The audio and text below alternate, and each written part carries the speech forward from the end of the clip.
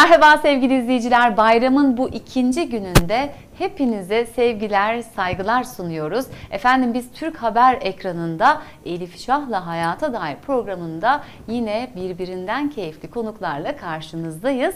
Dün bayramımızı kutlamıştık. Bugün de diliyoruz ki yine ekran başındasınızdır ve yine bizimle hoş sohbetimize eşlik edersiniz. Efendim hemen konuklarımı tanıtmak istiyorum size. Böyle sıradan devam edeceğim. E, pasta tasarımcısı Sayın Gamze Esen. Gamzeciğim hoş geldin programımıza. Merhaba, hoş buldum. Ee, tabii ki yüksek iç mimar Sayın Berfin İvegen Bultan. Sen de hoş geldin Berfin'cim. Çok teşekkür ediyorum. Hoş buldum ben de. Ve çok sevgili, çok sevdiğim yine dostlarımdan e, çiçek tasarımcısı Sayın Yasin Umaç yine bugün bizimle. Hoş geldin Yasin. Hoş bulduk. Hoş bulduk Elif. Ben şimdi e, sizlerin izninizle e, tüm konuklarımı daha önceden tanıdığım için onlara ismen hitap edeceğim. E, bir bayram programı çekiyoruz. E, bir aile sohbeti gibi evlerinize konuk oluyoruz. Efendim peki biz neler yapacağız? Şimdi e, Gamze bize burada gördüğünüz bir takım e, malzemeler getirdi. E, şeker bayramındayız. Tatlı tatlı geçsin istiyoruz. O yüzden e, bize yaptığı pastaları süsleyecek. Ama tabii ki Yasin de bir you pastasını çiçeklerle süsleyecek. Bunları bize birazcık da anlatacaklar. Belki püf noktalarını verecekler. Ee, çok sevgili Berfin zaten yıllardır pek çok programla bir araya geldik. Evet. Çok güzel tasarımların vardı ama biz hem e, bayramı kutlarken aslında baharı da karşılayacağız ve bu yaklaşan dönemle beraber evlerimize neler yapabiliriz? Evet bayramda bir takım değişiklikler yaptık belki ama yaşam alanlarımız artık dışarıya açılıyor. Bahara, gökyüzüne açılıyor değil mi? Bunlarla ilgili de belki balkonlarımız, teraslarımız, bahçelerimiz hatta evlerimizle ilgili e, küçük dokunuşları konuşacağız. Şimdi çok fazla konuştum biliyorum. e, ben tekrar size hepinize çok güzel bir bayram diliyorum efendim. Teşekkür ederim. E, iyi ki buradasınız. Nasıl geçiyor bayram? Gamze sen de başlayalım mı? Ee, Bayramlarımız tabii ki çok heyecanlı, çok güzel geçiyor. Ee, kızım heyecanla bekliyor. Ee, bayramlarda işte aile büyüklerini ziyaretse özen gösteriyoruz. Onları hep birlikte olmak hem onları hem bizleri mutlu ediyor. Şimdi biz bu bayram vesilesiyle mesela huzur evlerini ziyaret ettik. E, oradaki işte amcalarımız, teyzelerimizle e, görüştük ve onların da en çok söylediği hani bizi unutmayın, bizi hatırlayın e, cümlesiydi. Yani bu böyle çok insanı üzen de bir durum. Belki biz önce kendi ailemize, kendi yakınlarımıza değil mi? Ya da işte yardımlaşma diyoruz. Mesela bayramlarda hani bu tabii ki söylenmez ama e, onları da e, unutmadan ki bu bayram biraz da aslında buruk geçiyor. Neden? Çok e, ciddi ve e, bizi üzen bir deprem felaketi yaşadık. İster istemez sanki bu duygular da e, bu bayramda cebimizde gibi. Öyle değil mi? Öyle gerçekten öyle. Gamzeciğim şimdi aslında sohbetimize devam edeceğiz ama burada pek çok e, malzeme görüyorum. Sen bir taraftan da bizi bekliyorsun galiba. İstersen sen e, başla çalışmaya bir taraftan sohbet edelim ama böyle rengarenk şeyler görüyorum böyle yumuş yumuş evet. e, hamurlar mı nedir bunlar? Şeker, bunlar şeker hamuru. Şeker bayramı olduğu için ben de şeker hamuruyla bir pasta hazırladım. Üzerine de e, şeker hamurlarından e, şeker motif e, figürleri yapıyor olacağım. Harika. Tam böyle bayrama evet, özel bayrama şeyler özel göstereceksin pasta. Bir diğer pastam daha var. Naked cake hazırladım. O da canlı çiçekle süslenmesi gereken bir pasta. Orada da Yasin'den Sana dönüyoruz. istiyor olacağız. bu şekilde. Burada da göreceğiz hepsini galiba nasıl Tabii, yapılıyor. Peki burada bir sürü malzeme var böyle evet, bunlar, bıçaklar, spatulalar bir şeyler görüyorum ben. E, bıçak olmazsa olmazımız zaten kullanıyoruz. E, ben elimle şekil veriyorum. Kalıpla çalışmıyorum.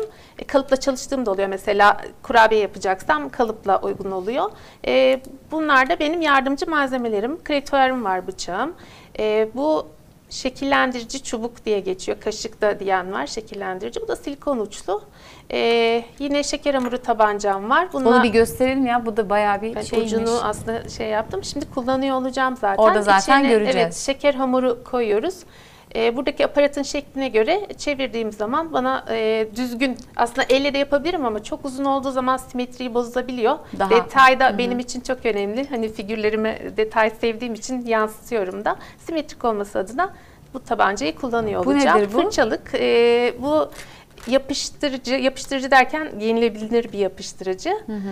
Taylozla ve suyla birlikte bir akşam bekleterek hazırlıyorum. E, figürleri yapıştırmak için Ha, kullanıyorum. Yani aslında Hepsi gıdaya malzemeler ha onu diyeceğim. Yani biz sağlıklı Tabii ki tüketebileceğimiz de kesinlikle sağlıklı ürünler. tüketebileceksiniz. Harika. Ve zaten e, seçimde de çok özel davranıyorum. Çünkü lezzeti, kalitesi benim için çok çok önemli. Vazgeçilmezim. Şimdi aslında izleyicilerimize şunu da söyleyeyim. Program öncesinde e, hijyen olarak da Gamze oldukça işte ellerimi yıkadım, şunu böyle temizledim diyor. Hatta biz espri yaptık. Biz de arada yapsak mı diye. Hani biz de bir test edildik değil mi sanki? Ne kadar tabii, bize elimiz temiz mi, hijyen ellerimizi temizledik, yardımcı olabiliriz. Biz de yuvarlayalım dedik ama yok izin vermedi. Yani sanki böyle tamam biz o zaman sana kolay gelsin Teşekkür diyoruz. ederim. Ama tabii ki sohbetimize devam, Devam ediyoruz. ediyorum. Şimdi Teşekkür bayram dedik. Ee, bayramda e, evlerimize şimdi ben mesela bir böyle zaman zaman istiyorum ki hani insan doğası gereği bir değişiklik istiyor.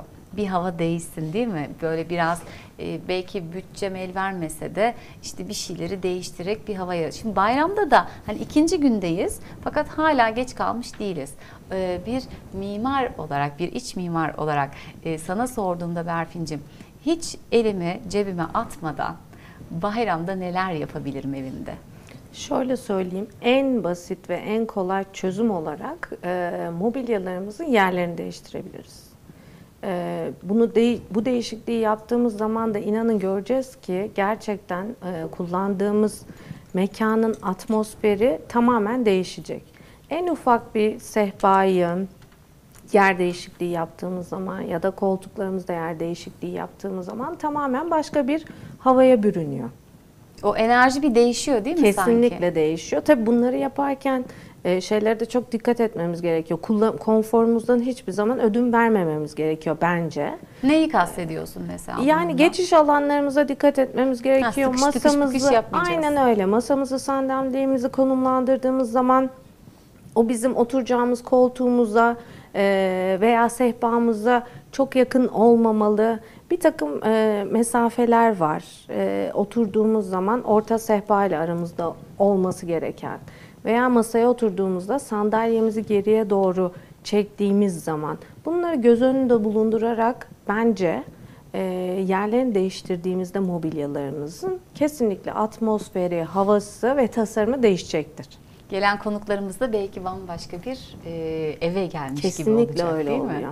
Bunların yanı sıra tabii ufak tefek hani e, alışverişler yaparak değiştirebileceğimiz şeyler de olabiliyor. Mesela hemen bize örnek Mesela versen. en basit koltuklarımızın kırlentleri. Ha, bunu yapabiliriz rahatlıkla. Belki kolay. bazı e, izleyenlerimiz kendileri bile değil mi kumaşlardan kesinlikle, dikebilirler, kesinlikle, yapabilirler. Kesinlikle. Bayram öncesinde mesela onun hazırlığını yapıp bayramda yeni yaptıkları, yeni ürettikleri kırlentlerle, e, renklerle e, mesela antresit rengi bir salonunuz vardır, koltuklarınız vardır. Bayramda onu renklendirmek istiyorsunuzdur. Bambaşka renklerde gözünüze hoş gidece- e, gelecek. E, kırlentler alıp veya üretip koyduğunuz zaman o koltuğunuzun e, havasını değiştirmiş oluyorsunuz. Bu şimdi belki bir sonraki bayrama bir şey ya da bahara, bayram Evet. sonrasına e, örnek olabilir. Peki onun dışında mesela Aksesuarlarımız. aksesuar. Evet, aksesuarlarımızın yerlerini değiştirdiğimiz zaman da gerçekten e, ciddi farklılıklar elde edebiliyoruz.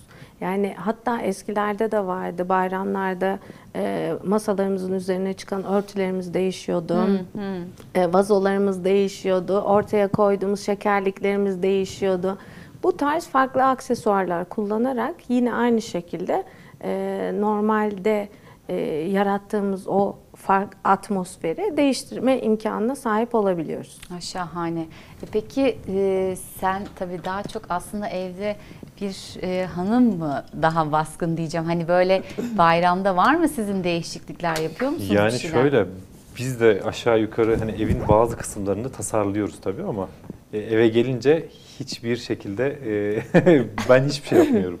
Yani çünkü ne kadar istediğin kadar başka evleri de tasarlasan e, eşim ne diyorsa aşağı yukarı neyi nereye koymak istiyorsa o öyle diyorsa öyle oluyor. Hiç hiç girmiyorum. Burada üç Tecrübeli bir- hanımefendinin yanında da diyorsun ki hiç bu konuya girmeyi Tecrübeliyim evlilik konusunda. Hiç öyle şey şurası şöyle mi olsun, burası böyle mi olsun, çiçek şurada mı dursun hiç karışmıyorum ama e, uzman destek istedikleri zaman tabii ki söylüyorum. E, bizim aslında en çok evin havasını değiştirdiğimiz durumlar oluyor çiçekle ilgili. E, özellikle hatta bunun sonunda değiniriz. E, havayı temizleyen bitkiler de var. Sen de Aa. bunu daha önce de konuşmuştuk Evet, hatta. evet. E, nasıl temizleyen? Bu arada hep bilinir ya işte şey olacak işte karbondioksit emecek, oksijeni verecek. Bunun dışında e, evimizde bir sürü e, alanlar var yapıştırıcı kullanılıyor. Mesela atıyorum ayakkabıları yaparken kullanılan yapıştırıcı. Atıyorum e, mikrodalga kullanılıyorsa elektromanyetik dalgalar var. E, onun gibi bir sürü e, evimizde hatta boya, duvar boyası, e, ahşap boyası ile ilgili sürekli bir evimizde kimyasal salınım yapılıyor. Bununla da ilgili bunu unutma. Sen de bir geçmişte program yapmıştık hatırlıyor musun? Bize Evet. aslında özellikle çocuk odalarında bahsetmiştin Evet, sanki kesinlikle. onların. Kurşunsuz Evet, boyalardan evet, vesaire. evet. gibi. E, onları da bu arada şöyle bir çözüm var. E, Evet, onda bir ipucu geliyor. bitkiler var, özel bitkiler var. Onları odasına koyduğunuz zaman 24 saat içinde %90'ını o havanın, o bütün e, kimyasal salınım yapan her şeyi temizliyor. Bu kadar yüksek miydi oranlar? Oran çok yüksek. Çok bu arada iyi. nereden çıktığı da çok ilginç. Nasıl? Onu da anlatayım. Ya bunu nasıl buldular? Ee, NASA buluyor bu arada. 1970'lerde uzay ajansında e, aşağı yukarı hani oradaki havayı temizlemeleri gerekiyor en nihayetinde salınımları. Çünkü bir sürü e, elektromanyetik dalgalar var, bir sürü boyalı cisimler var ve araştırma yapıyor NASA. Bütün bitkileri araştırdıkları zaman bazı bitkilerin bazı salınımları engellediği, kendine absorbe ettiği bulunuyor. Ondan sonra biz bunu biliyoruz bu arada. Hmm. Çok Türkiye'de bilinen bir e, şey değil ama aşağı yukarı araştırırlarsa e, ne kadar etkili olduğunu da görmüş oluruz. En çok bilineni söyleyeyim. Kaktüs mü? Evet. Elektromanyetik dalgaları engelleyen aloe vera olabilir, kaktüs cinsi e, şeyler elektromanyetik dalgaları daha çok emiyor. E, o tabii başlı başına bir konu ama Şimdi asıl da ilgili, bayram evet. kısmına gelelim. Sukulentlerle ilgili falan bir şey de belki buradan bize de o müjdeyi ver. Çünkü böyle zaman Tamam. zaman bize bunları anlatacaksın programımızda da. Aynen, aynen. Onları bir koskoca aslında bir e, program konusu havayı temizleyen bitkiler. Onlara detaylı gireriz. Bayramda da ne yapabiliriz? Şimdi bayramda şöyle, evlerimiz aslında benim çocukluğuma nazaran, ben belki böyle bir çıkarımda bulunurum, yanlış olabilir, daha az renksiz sanki. E, eskiden daha renkliydi Çok doğru. her şey. Çok Şimdi doğru. yavaş yavaş birazcık daha, tabii ben de öyleyim. E, mesela ben siyahı seviyorum, fümeyi seviyorum, griyi seviyorum, beyazı seviyorum. Çok renge girmiyorum ama e, evdeki rengi ben genelde çiçekle vermeyi çok seviyorum. Yani Daha doğal vurucu oluyor tabii. kısmı birazcık daha böyle çiçekle versek daha güzel olabilir. Birincisi e, hani görsel olarak bir ferahlama ol- oluyor. Kesme çiçeklerden bahsediyoruz bu arada.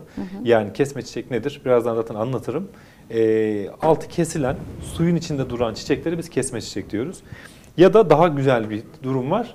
Koku. Yani güzel kokulu özellikle şu an e, hani geçiş dönemindeyiz. Bahardayız. Çiçek çeşitliliği fazla. E, onlarla ilgili de küçük küçük tiyolar veririm. Hangi çiçekler daha çok kokuyor. E, evde bir kere kokuyu değiştiriyorsunuz. Ambiyansı değiştiriyorsunuz. Bir de çiçek, kesme çiçek birazcık daha tazeliği e, simgeler. Ruhunuzu da biraz aslında tazeliyorsunuz. Tazelemeye ihtiyacınız oluyor. Bayramlar çok neşeli, e, güzel zamanlar. Çiçek de birazcık öncü olabilir. Kesinlikle. Şimdi bununla ilgili aslında e, senin e, yerine gelip bir çekim yaptık ama onu biraz ilerleyen zamanda göstermek istiyorum. Çünkü orada da çok güzel ipuçları var. Fakat şimdi madem konuşuyoruz, burada Gamze'ye de bakıyorum bir taraftan. E, ha başta yavaş yavaş minik şekerler geliyor sanki değil mi Evet. şeker hamurundan? E, Gamze bu arada aslında sana da sorayım yani seni orada unutmayalım da. Şimdi sen evde çiçek ya da çiçekler senin hayatında ne kadar önemli? Sever misin? Ben kaktüsleri, sukulentleri çok seviyorum. Bir de papatyayı çok severim. Papatya. Hı hı. Evde de e, kaktüs yetiştiriyorum sukulent. Çok çok severek de bakıyorum. Ama e, ne yazık ki sizin kadar tecrübeli olmadığımdan bazı teknik hatalar yapabiliyorum. Ben sizin se- e, seçiminizden zaten anladım. Genelde sukulent, kaktüs alan kişiler çiçekle çok ilgilenemeyen, çok bakamayan ya ölmesin ben her şeyi öldürdüm diye mağazaya geliyorlar. Ne yapacağız deyince biz de hiç başımız ağrımasın. Sukulent alın, kaktüs alın, sulamayın, unutun, problem yok gibi. Peki bir şey Ee, soracağım. tabii. Onu da öldürenler varsa hiç isim vermek istemem şu an ama Şey gibi, e, onu da elinden alalım artık Ha, tamam, Ama şöyle zaten sukulent ve kaktüsü öldürüyorsanız iki şey yapıyor olabilirsiniz. çok mu suluyoruz acaba? Çok suluyorsunuzdur. Yani çiçeklerin genelde e, ölmesinin yüzde seksen sebebi çok sulamak. Bizim halkımızda şöyle bir algı var. Biz e, ya ben çok güzel bakıyorum çiçeklere deyip bakımın sudan geçtiğini düşünenler var. Yani suladığı zaman bakım olduğunu düşünenler var. O, orada da şöyle bir sı- sıkıntı. Yani çiçekleri gerçekten her çiçeği de aşağı yukarı bir insana benzetebiliriz. Şöyle düşünün. Siz evet suyu çok seviyorsunuz ama ayağınız sürekli suyun içinde kalırsa hasta olursunuz. Yani burada da öyle bir durum var. Bir de şimdi eskiden mesela şeydi. e, bizim saksı çiçeklerimizin hepsi plastikti. Yani dekoratif saksı yoktu. Evet. Hepsi siyah, üretim saksıydı. Onu, onun da altı delikti. Evet. E şimdi yeni aldığımız şeylerin altı delik değil. Beton E, saksılar. beton evet. saksı ya da işte seramik kullanıyoruz. Evet. En nihayetinde üstten veriyoruz. E, alt taraf sürekli balçıkta. Genelde Evet. çiçeklerin ölmesi bu. Altına, saksının altına taş koymak faydalı olur mu? Eğer Şöyle düşünün. Şimdi yukarıdan çok veriyorsanız şimdi o bir küçücük bir önlem. Altına drenaj yapıyoruz. Yani kökler, su, e, toprak nemli kalmasın. O su taşın arasında kalsın istiyoruz. Ama yine miktarın fazlasını koyduğun zaman o taşı da yine sıyırdığı zaman yine O da şey değil. Ben mesela böyle süslü saksı şimdi hani tasarım olarak da evde şık Evet, duruyor ya evet. böyle uyusun falan diye. O içine koyduğum çiçekleri tabii sukulenti öldüren biri olarak konuşuyorum. Ne kadar bu Yani doğru bir şey değil ama. Şimdi mesela onu çıkarıp böyle su verip biraz akmasını sağlayıp çok da eminim doğru bir şey yaptım. Yani umarım yanlış bir şey gelmez. Sonra tekrar koyuyorum mesela. Mesela orkidelerde diyelim. Ama onda tabii güneş görmesi gerekecek. Ben susuyorum. Ee, izleyicilerimizi de yanlış bilgilendirmeyeyim. Yani şöyle e, her çiçeğin birincisi şöyle düşünmek lazım. Mesela siz nerelisiniz? Ben Aşağı gerçi ama Ankara'da ya- Ankara'da yaşıyorum. Doğum, doğum yerim Bitlis. peki en çok nerede yaşadınız? Ankara. Ankara'da Doğma yaşadınız. büyüme Ankara. Şimdi benim de öyle. Ben de Malatyalıyım bu arada. Ama Ankara'da doğdup büyüdüm.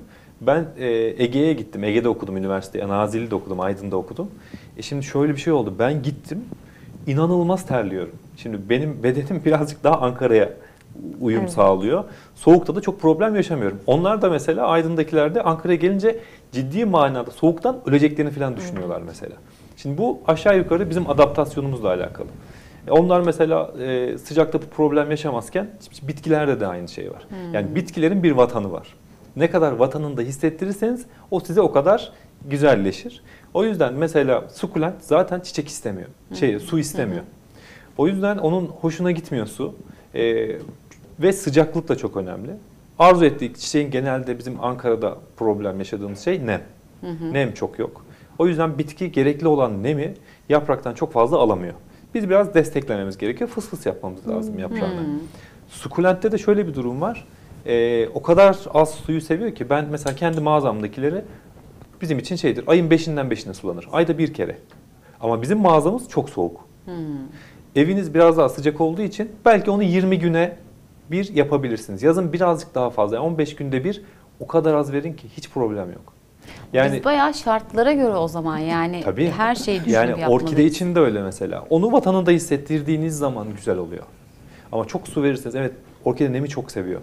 Ama sürekli altında mesela bir, bir ara öyle oldu. Hani birazcık daha tembellikten suyu bırakıyoruz orkidenin altında. Ee, bir zaman sonra ilk başta güzel. O nem sağlıyor altında. Hani kökleri biraz nemi alıyor sürekli altında su olduğu için ama bir zaman sonra yosunlanmaya ve Hmm. çürümeye başlıyor. O yüzden sulama çok çok önemli. Ee, muhtemelen siz fazla suladınız. Evet, Evet. öyle gözüküyor. Bu bende kaldı böyle. Konu burada. Hemen değiştireyim ben o zaman. Peki şimdi şeyi soracağım. Ee, aslında hani çiçeklerden bahsediyoruz ama birazcık geriye dönünce e, bu çiçek e, olayında üçüncü kuşaksın sen. Yani e, bambaşka bir lisansın var. E, Hı hı. Şimdi geldiğin noktada hani Ankara'da aslında bilinen ve e, sevilen ve tercih edilen bir ederim. yerdesin. E, hani pek çok da iletişim kurduğun Evet. Berfin'le de öyle Evet. aslında Tabii. çalışmalarınız Evet. da var. E, bu nasıl oldu? Yani bir şey böyle aşkla bağlı olmak, tutkuyla bağlı yani olmak mı? aslında öyle müthiş işte çok aşık oldum gibi olmadı. Ben mesela sizin ben hep soruyorum mesela eşime de soruyorum. Ya bir çiçekçi eşi olmak, çiçek tasarımcısı eşi olmak nasıl bir şey diye. Çünkü e, bana hiç ilginç gelmiyor. Çünkü şöyle bir şey vardı ya ben 3 yaşında serada geziyordum. E, öyle olunca da benim için çok normal ve iş e, kısmına geliyor. Aslında ben bundan kaçtım. E, babamın e, dükkanı varken dedim ki ben çiçekçi olmayacağım. Ondan sonra üniversite işte işletme okudum. Ondan sonra e, beni bir arkadaşım ikna etti. Dedi ki hadi bakalım gel siz bir işi biliyorsunuz işe girelim. Ona tek şart sundum. Dedim ki yani e, klasik tarzda çiçekçilik yapacaksak ben yokum. Yapacaksak eğer hani Avrupa tandanslı yani dünyada kim nasıl yapılıyorsa tasarımları öğrenip farklı nasıl yapabiliriz onu e, yapacaksak açarız dedim. Çünkü ben kendim biliyorum çabuk sıkılırım ben. Ee, yani benim e, oyun alanım dar olursa muhtemelen ondan sıkılacağım. Ama çiçekçilik aslında Türkiye'dekinin aksine çok geniş e, alanlara e, geçiyor. Zaten Berfin'le de biz öyle tanıştık. E, yapay işi yaptık. Evet. Yapay kullanabiliyorsunuz. iç mimariye girebiliyoruz. Pasta işine girebiliyoruz. Fotoğrafçı işine giriyor. E, o kadar geniş alanda ki beni cezbeden kısım o oldu. Ben normalde işimi e, aşkla başlamadım. Çok isteyerek de başlamadım. Ama işimi çok sevdim. Ve farklılaştırınca, daldan dala bir yerlere e, girince de çok mutlu etti beni. E, bakalım şimdi gayet 12 sene oldu gidiyor. O yaratıcılığın galiba e, sonu yok gibi bir durum sanki değil mi? O oldukça hep değişik alanlar. Oradan doğuruyor sanki kendisini farklılıklar. Ya kesinlikle çünkü özü itibariyle yaptığım iş zaten çiçeğe dokunuyorum. Ee, en nihayetinde şöyle bir durum var. Çiçeğe ben dokunuyorum ama bu nerede kullanılıyor? Doğumdan ölüme bütün özel günlerde, e, mutlulukta, sevinçte, hüzünde, e, hatta şaşırmada, evlilik tekliflerinde hep çiçek var. E, öyle olunca da biz de birazcık sürece dahil oluyoruz. Yani bitmiyor. Atıyorum biri mesela ev evini aldı, çiçeklendirmek istiyor. Kendince müthiş heyecanı var. O bize geçiyor zaten. Yani onun heyecanını görüyoruz. Hadi bakalım ben de heyecanlanıyorum. Bak şunu şöyle yapalım mı? Evin şu kısmında şöyle olsun. Bence buradan böyle olunca ben oradan ruhen Değil mi? müthiş besleniyorum. Besleniyorsun. En nihayetinde bir de çiçeğe dokunuyorum. Yani ne kadar kötü olabilir ki bu? Kesinlikle. Peki şimdi bayramda mesela sen Ben böyle... de onu diyecektim. Ha, Şimdi hadi söyle o şöyle zaman. bir şey söyleyecektim. Aslında biz Yasin'le şöyle bir çalışma yaptık. Ee, Bir yemek masasının üzerine nasıl Tam Ee, oraya gelecektim. Tam Aynen. böyle kalp kalbe o gidiyoruz. kadar güzel bir e, süsleme yaptı ki Teşekkür sağ olsun ederim. o kadar değişik bir tasarım yaptı ki ev sahibimizin bir e, özel aksesuar vardı. O aksesuarın içine özel bir gün için farklı tasarımda e, bir çiçek yaptık ve o masamızın gerçekten e, dokusunu değiştirdi öyle söyleyeyim Ne güzel. size. Ki orada da- Yumuşattı tabii, yani, Renk kesinlikle. sadece oydu evde. Evet, evet. yani evde, çok fazla renk kullanmıyoruz artık. Evet, evet. Ya da aynen pastel öyle. oluyor daha çok. Evet. o yüzden e, biz de yani iç mimari kısımlarda da eskiden mesela evlerimizde e, çiçek kullanıyorduk. Evet, saksı çiçekleri kullanıyorduk ama genelde balkonlarda duruyordu. Balkonlarda bakılıyordu. Şu anda tasarım yaparken e, hangi evi yerleştirirken hangi köşeye ne tarzda bir saksı seçip içine nasıl bir bitkilendirme yapmalıyız? Bu da bayağı sizin alanınıza giriyor o zaman Ee, değil mi biz mimari? yardım alıyoruz profesyonel arkadaşlar. Ama bir önemli bir kalem yani Çok önemli kadarıyla. bir de start Çok- veriliyor gibi. Yani çiçek girmeyince sanki bir şey eksik. Çiçek girince tamam. Evet, Değil kesinlikle. Ev oldu. Kesinlikle. Bitti. Tamam artık Evet. oturabiliriz, kullanabiliriz gibi bir Evet. şey de oluyor. Yani orada bir algı da e, oluyor. Evin içinde Daha doğal. oluyor. Eskiden sanki. hep şey derdik ya evin mobilyaları gelirdi, perdesi takıldığında tamamlanacak, halısı gelirdi, yok halısı geldiğinde. Şimdi gerçekten çiçeklerimiz olmadan, saksılarımız, yeşilliklerimiz olmadan o evi tamamlam, aksesuarlarımız da aynı şekilde o evi tamamlanmış görmüyoruz biz. Biraz Çünkü- kel bir duruş oluyor değil mi evet, sanki? Çok böyle boş. yalın, sade, kendini ifade. Az önce çok güzel bir şey söyledi Yasin. Duygularımızı anlatmak için kullandığımız bir obje olduğu için evimizin içerisinde de yani orayla ilgili hissiyatlarımızı e, aktarmak için mutlaka kullanıyoruz biz. Kesinlikle. Hatta farklı şeyler bile yapıyoruz. Yani normalde e, yapay çiçekler de kullanıyoruz. Dikey duvarlarımızı kaplıyoruz. E, bazı separatörlerde yapay çiçekler kullanıyoruz ki hani O da sanki değil mi böyle farklılaştıran alanı bambaşka bir hale Ben onun nedeni şey olarak görüyorum bu arada. Yani e, gerçi bunu uzak doğu sanatı birazcık daha keşfetmiş durumda. Biz ülke olarak aslında çiçeği özü itibariyle çok fazla sevmiyoruz. Biz e, sevdiğimizi biliyoruz ama niye sevdiğimizi bir, tür- bir türlü açıklayamıyoruz. Bunu Japonlar çok güzel açıklamışlar. Ne demişler? E, onların ki şu, şimdi biz doğaya aitiz. doğada yoksak eğer şu anda betonların arasındaysak bizim o geçmişimizi hatırlatacak e, tasarımlar yapıyorlar ki zaten e, şimdi onların ağaç ağaca ve doğa, doğaya saygı zaten herkes biliyor. En nihayetinde eğer beton içinde yaşayacaksak da bonsai dediğimiz çiçeklerin Evet. çıkışı birazcık daha ondan aslında. Evet. Ee, orada mesela çok güzel, e, onu da bir ayrı gün konuşuruz. Kokedama sanatı vardır. Orada da mesela e, o oraya bir özlem var. Bizde de hep öyledir. Mesela biz istediğimiz kadar lüks evde yaşayalım. Günün sonunda herkes köyüne gidince, e, biraz Karadeniz'e gidince, biraz ağaç görünce, doğaya çıkınca hissettiklerimizi anlatamayacağımız bir rahatlama oluşuyor. E, muhtemelen ağaçta da ya da evdeki kullandığımız bitkilerde de o hissi yaşıyoruz. Yani biz aslında betonda yaklaşık 100 senedir, 100 senedir bile yok olmadı hatta. 100 senedir belki betonda yaşıyoruz ama bizim aslında daha kökenimiz, geçmişimiz doğada yaşadığı için müthiş bir özlem var. Aslında bizim ait olduğumuz yer birazcık orası. Olabilir. Ruhumuz belki oraya çekiliyordur. Çiçek gelince de muhtemelen birazcık bellekte sanki or- oradaki rahatlama oluyor. Aslında onlar da tabii yaşayan canlı Tabii. Tabii. oldukları için Tabii. belki de o iletişim, o e, enerji de yansıyor içimize. Evet. Peki Yasin acaba sen de bize yavaş yavaş göstersen mi? Tamam, böyle olur. e, yapacağın şeyleri böyle hazırlasan Tamam, mı? tabii. Şimdi Gamze'ye döneceğim. Gamzeciğim nasıl gidiyor? Çok güzel gidiyor. Ne yapıyorsun şimdi? Bir, Aa, orada bakayım ben yapıyorum. şöyle göz... Aha, burada gerçekten renkli renkli. Çocukluğumuzun şekerleri. Evet. Şimdi de gerçi çocuklarımızın şekerleri. Niye canım? Hala bizim de olabilir herhalde değil mi? Çok Biz de seviyoruz sanki. çalışıyorum, çok Sevmeyen var seviyorum. mıdır? Çok seviyorum ama tabii tüketmemeye çalışıyorum. Ben hem Yasin'e hem Gamze'ye Bakın bakın. Şöyle gösterelim. Evet bence Ama gayet daha şık. buket haline getireceğiz tabii. Çok da güzel kokuyor. evet Onlardan da birazdan bahsedeceğim. Şöyle bir ayırmam lazım önce. Tamam sen onları ayırırken ben e, şeyi sormak istiyorum sana Berfin. Yani biz şimdi bayramdayız. E, bayram gezmelerimiz devam ediyor. Ama belki böyle işte konuklarımızı, gelen misafirlerimizi, aile büyüklerimizi hani tatil olarak değerlendirmeyen, daha bayram geleneğini devam ettiren aileler için, e, izleyicilerimiz için soruyorum. E, diyelim ki balkona çıkarmak istedik. Diyelim ki bahçemize çıkarmak istedik. Diyelim ki apartmanımızın bahçesine inmek istedik. Diyelim ki terasımızda ağırlamak istedik.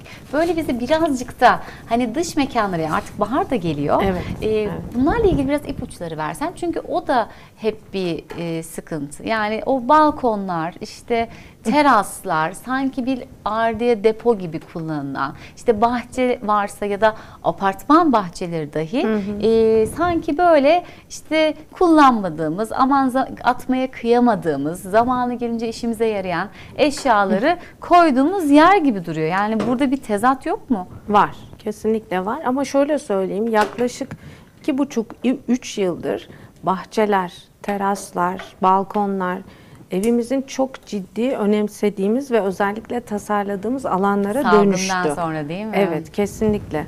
Yani pandemi bizi bu konuda çok ciddi bir şekilde eğitti. Ee, neler kullanıyoruz? Genelde ahşap e, ön planda oluyor. Mesela tik ağaçlarından, mesela seramik çok fazla tercih etmiyoruz. Şöyle söyleyeyim size, neden tercih etmiyoruz? Daha doğal, e, daha e. Sıcak sizi belki? gerçekten bahçede olduğunuzu, işte e, yeşilliklerin içinde olduğunuzu hissettiren doğal bir malzeme. Ağaçtan geliyor sonuçta. Ee, onun için çok fazla böyle seramik bazlı zeminlerde özellikle seramik tarzında malzemeleri tercih etmiyoruz. Balkonlarımız da dahil. Ee, yani öncesinde seramik döşenmiş balkonlarımızın üzerlerine görmüşsünüzdür. Zaten birçok yapı markette de satılan. Kare kare. Aynen Çok öyle. şık Kare kare. Onları koyduğunuz zaman bile balkonunuzun gerçekten tasarımını bambaşka bir hale getiriyorsunuz. Peki Ee, onları bile mesela e, onlar da çünkü biraz biliyorsun ekonomik olarak da fiyatlar oldukça Evet. yükseldi. Mesela onun yerine e, yine evden kullanabileceğimiz bir şey var mıdır? İşte o seramiği kapatmak için ya da ne yapabiliriz? Ya da o seramik olsa da hani e, değiştiremiyorsak bile başka bir şeyle Balkonlarımızda mesela şey yapabiliriz. Seramikten çok rahatsızlık duyuyorsak eğer dış cephede kullanabileceğimiz, zemine döşeyebileceğimiz daha pratik, çok fazla maliyetli olmayan, belki halı şeklinde koyabileceğimiz Hmm. küçük parçalar olabilir balkonumuz için. Onun yanı sıra e, mesela birçok e, balkonda yaptım ben. E, Yasin'den de e, küçük dere taşları vardır, beyaz. evet. Mesela o beyaz dere taşlarından balkonumuzun bir köşesine koyarak e, onun içerisinde belki bambu tarzında daha farklı Ay, yeşilimsi bitkiler koyarak e, yine çok fazla maliyete girmeden kullanabiliriz. Burada çok güzel kokuyor. var. Alıyor musun? Evet, yani ne kadar güzel, güzel bunlar. kokuyor. Hangisi ne hangi çiçek bilmiyorum ama muhteşem Şu kokuyor. Çok kokuyor. Leylendi. Ee, şöyle her çiçeği bulamıyorum. Bazılarını kendim topluyorum. Bunu mesela kendim topladım. Ay çok, Çok, güzel. koksun Evet. diye. Harika Ve çok güzel kokuyor. gösteriyor. Gerçekten izleyicilerimiz yani buraya bir aslında bahar havası, bir bayram havası da gelmiş Evet. bulunuyor değil mi? Evet, aynen. Pardon Berfin lütfen devam et sözünü Ee, kestim. Mobilyalarımız çok önemli. Yani çok büyük ebatta bir balkonumuz yoksa eğer. Ki genelde daha değil mi apartmanlar Evet. içinde hani daha yaşıyoruz ve balkonlar Aynen. evet. Kullanacağımız mobilyaların daha yani bazı balkonlarda şöyle uygulamalar görüyorum. Ee, koltuklar konuyor. Ee, ortasına bir sehpa konuyor. Siz yanından köşesinden Atlayarak geçerek oturmaya çalışıyorsunuz. Onu kesinlikle tercih etmememiz gerekiyor. Ne yapacağız? Yani be- ölçeğimiz neyse o ölçeğe uyumlu. Daha küçük ebatlarda. Belki ikili koltuk bir tane koyacağız. Karşısına Hmm. iki tane tekli koltuk koyacağız. İlla öyle olsun diye değil yani Hayır, rahatlık. illa yani ikili, üçlü şeklinde kombinasyon yapmak yerine bizim balkonumuz hangi ebatlarda? Bu ebat içerisine rahat hareket edebileceğimiz, biraz önce de söylemiştim. Bizim için ergonomi en önemli şeylerden ilk biri maddemiz olmalı. değil mi? Evet, kesinlikle. Ya bazı tasarımlar görüyorsunuz çok şık gerçekten. Ama oturduğunuz zaman mesela bir sandalye, bir tabure, bir koltuk oturduğunuz zaman 5 dakikadan fazla vakit geçiremiyorsunuz üzerinde. Ay evet ö, bir de o zaman niye biz orada keyif alanımızda oturalım? Kesinlikle. İstemiyoruz yani oturmak Aynen. zaten. O yüzden ilk etapta ergonomi çok önemli. Mesela sehpa yüksekliklerimiz, ortaya koyduğumuz e, sehpa yükseklikleri, orada aynı zamanda yeme, içme şeklinde aktiviteler yapacaksak o sehpanın yüksekliği bizim oturduğumuz koltuk veya sandalyeden aşağıda olmalı. Tabii Daha- şu vaziyette değil mi yememeliyiz Kesinlikle sanki. daha yüksekte bir sehpa tercih etmeliyiz. Dolayısıyla dediğim gibi tamamen e, bizim kendi ergonomimizle ilgili. E, kendimizi de ben müşterilerimde ilk başta şunu yapıyorum. Yani sizin kullanımınızla Gamze'nin kullanımı aynı değil. O yüzden önce sizlerle Hmm. konuşuyorum. Bu balkonu ne tarzda, hangi şekilde kullanacaksınız? Sandalyede mi rahat ediyorsunuz, koltukta mı rahat ediyorsunuz? Sizden o doneleri aldıktan sonra o balkonu sizin için tasarlıyorum. Şimdi ben burada bir şey söyleyeceğim. Yasin sanki sen biraz orada zorlanıyorsun. Acaba rica etsem şöyle bir yer değişikliği Olur. mi yapsak? tabii ne ki. dersiniz? Tabii ki. Eğer çok şey yapmadan, Berfin seni de böyle karşıma alsam. Burada iki e, tasarımcımız çalışırken biz böyle sen de onları izleyip baksak sanki daha mı iyi olacak? E, şimdi bir taraftan da ben seninle devam edeceğiz ama Gamze sanki çok sessiz kaldı. Evet. Orada bizi unuttu. Bir de Gamze şunu Çok biraz güzel. çekelim mi? Şekerler Sanki yaptım. birazcık daha mı rahat gözükse izleyicilerimiz de görse ne dersin? Çünkü bir şeyler yapmaya başladın, ortaya çıkmaya başladı. Tamam. Evet, şimdi gerçi ben buraya koydum ama sen kullanacağın zaman söyler misin bana? Ben sana Tamam birazdan alıyor ya olurum. da şöyle yapalım. Evet, e, Gamze sen peki bu pastaya nasıl merak sardın? Ee, aslında şeker hamuruyla tanışarak merak saldım. Kızımın ilk yaş günü e, pasta siparişi vermiştim. Yanına da cupcake'leri ben hazırlamak istedim. Biraz araştırma yaptım. Daha önce çalıştığım bir konu değildi.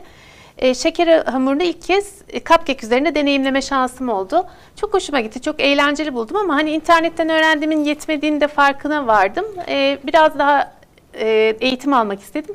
Şeker hamuruyla yapılan kurabiye kursuna katıldım. Daha da eğlenceli hale geldi. Aralık ayının sonu en yakın arkadaşımın doğum günü. E, ona böyle kurabiyeler hazırladım. Bir de dedim pasta deneyeyim. Şeker hamurunu pasta üzerinde deneyimlemiş olurum.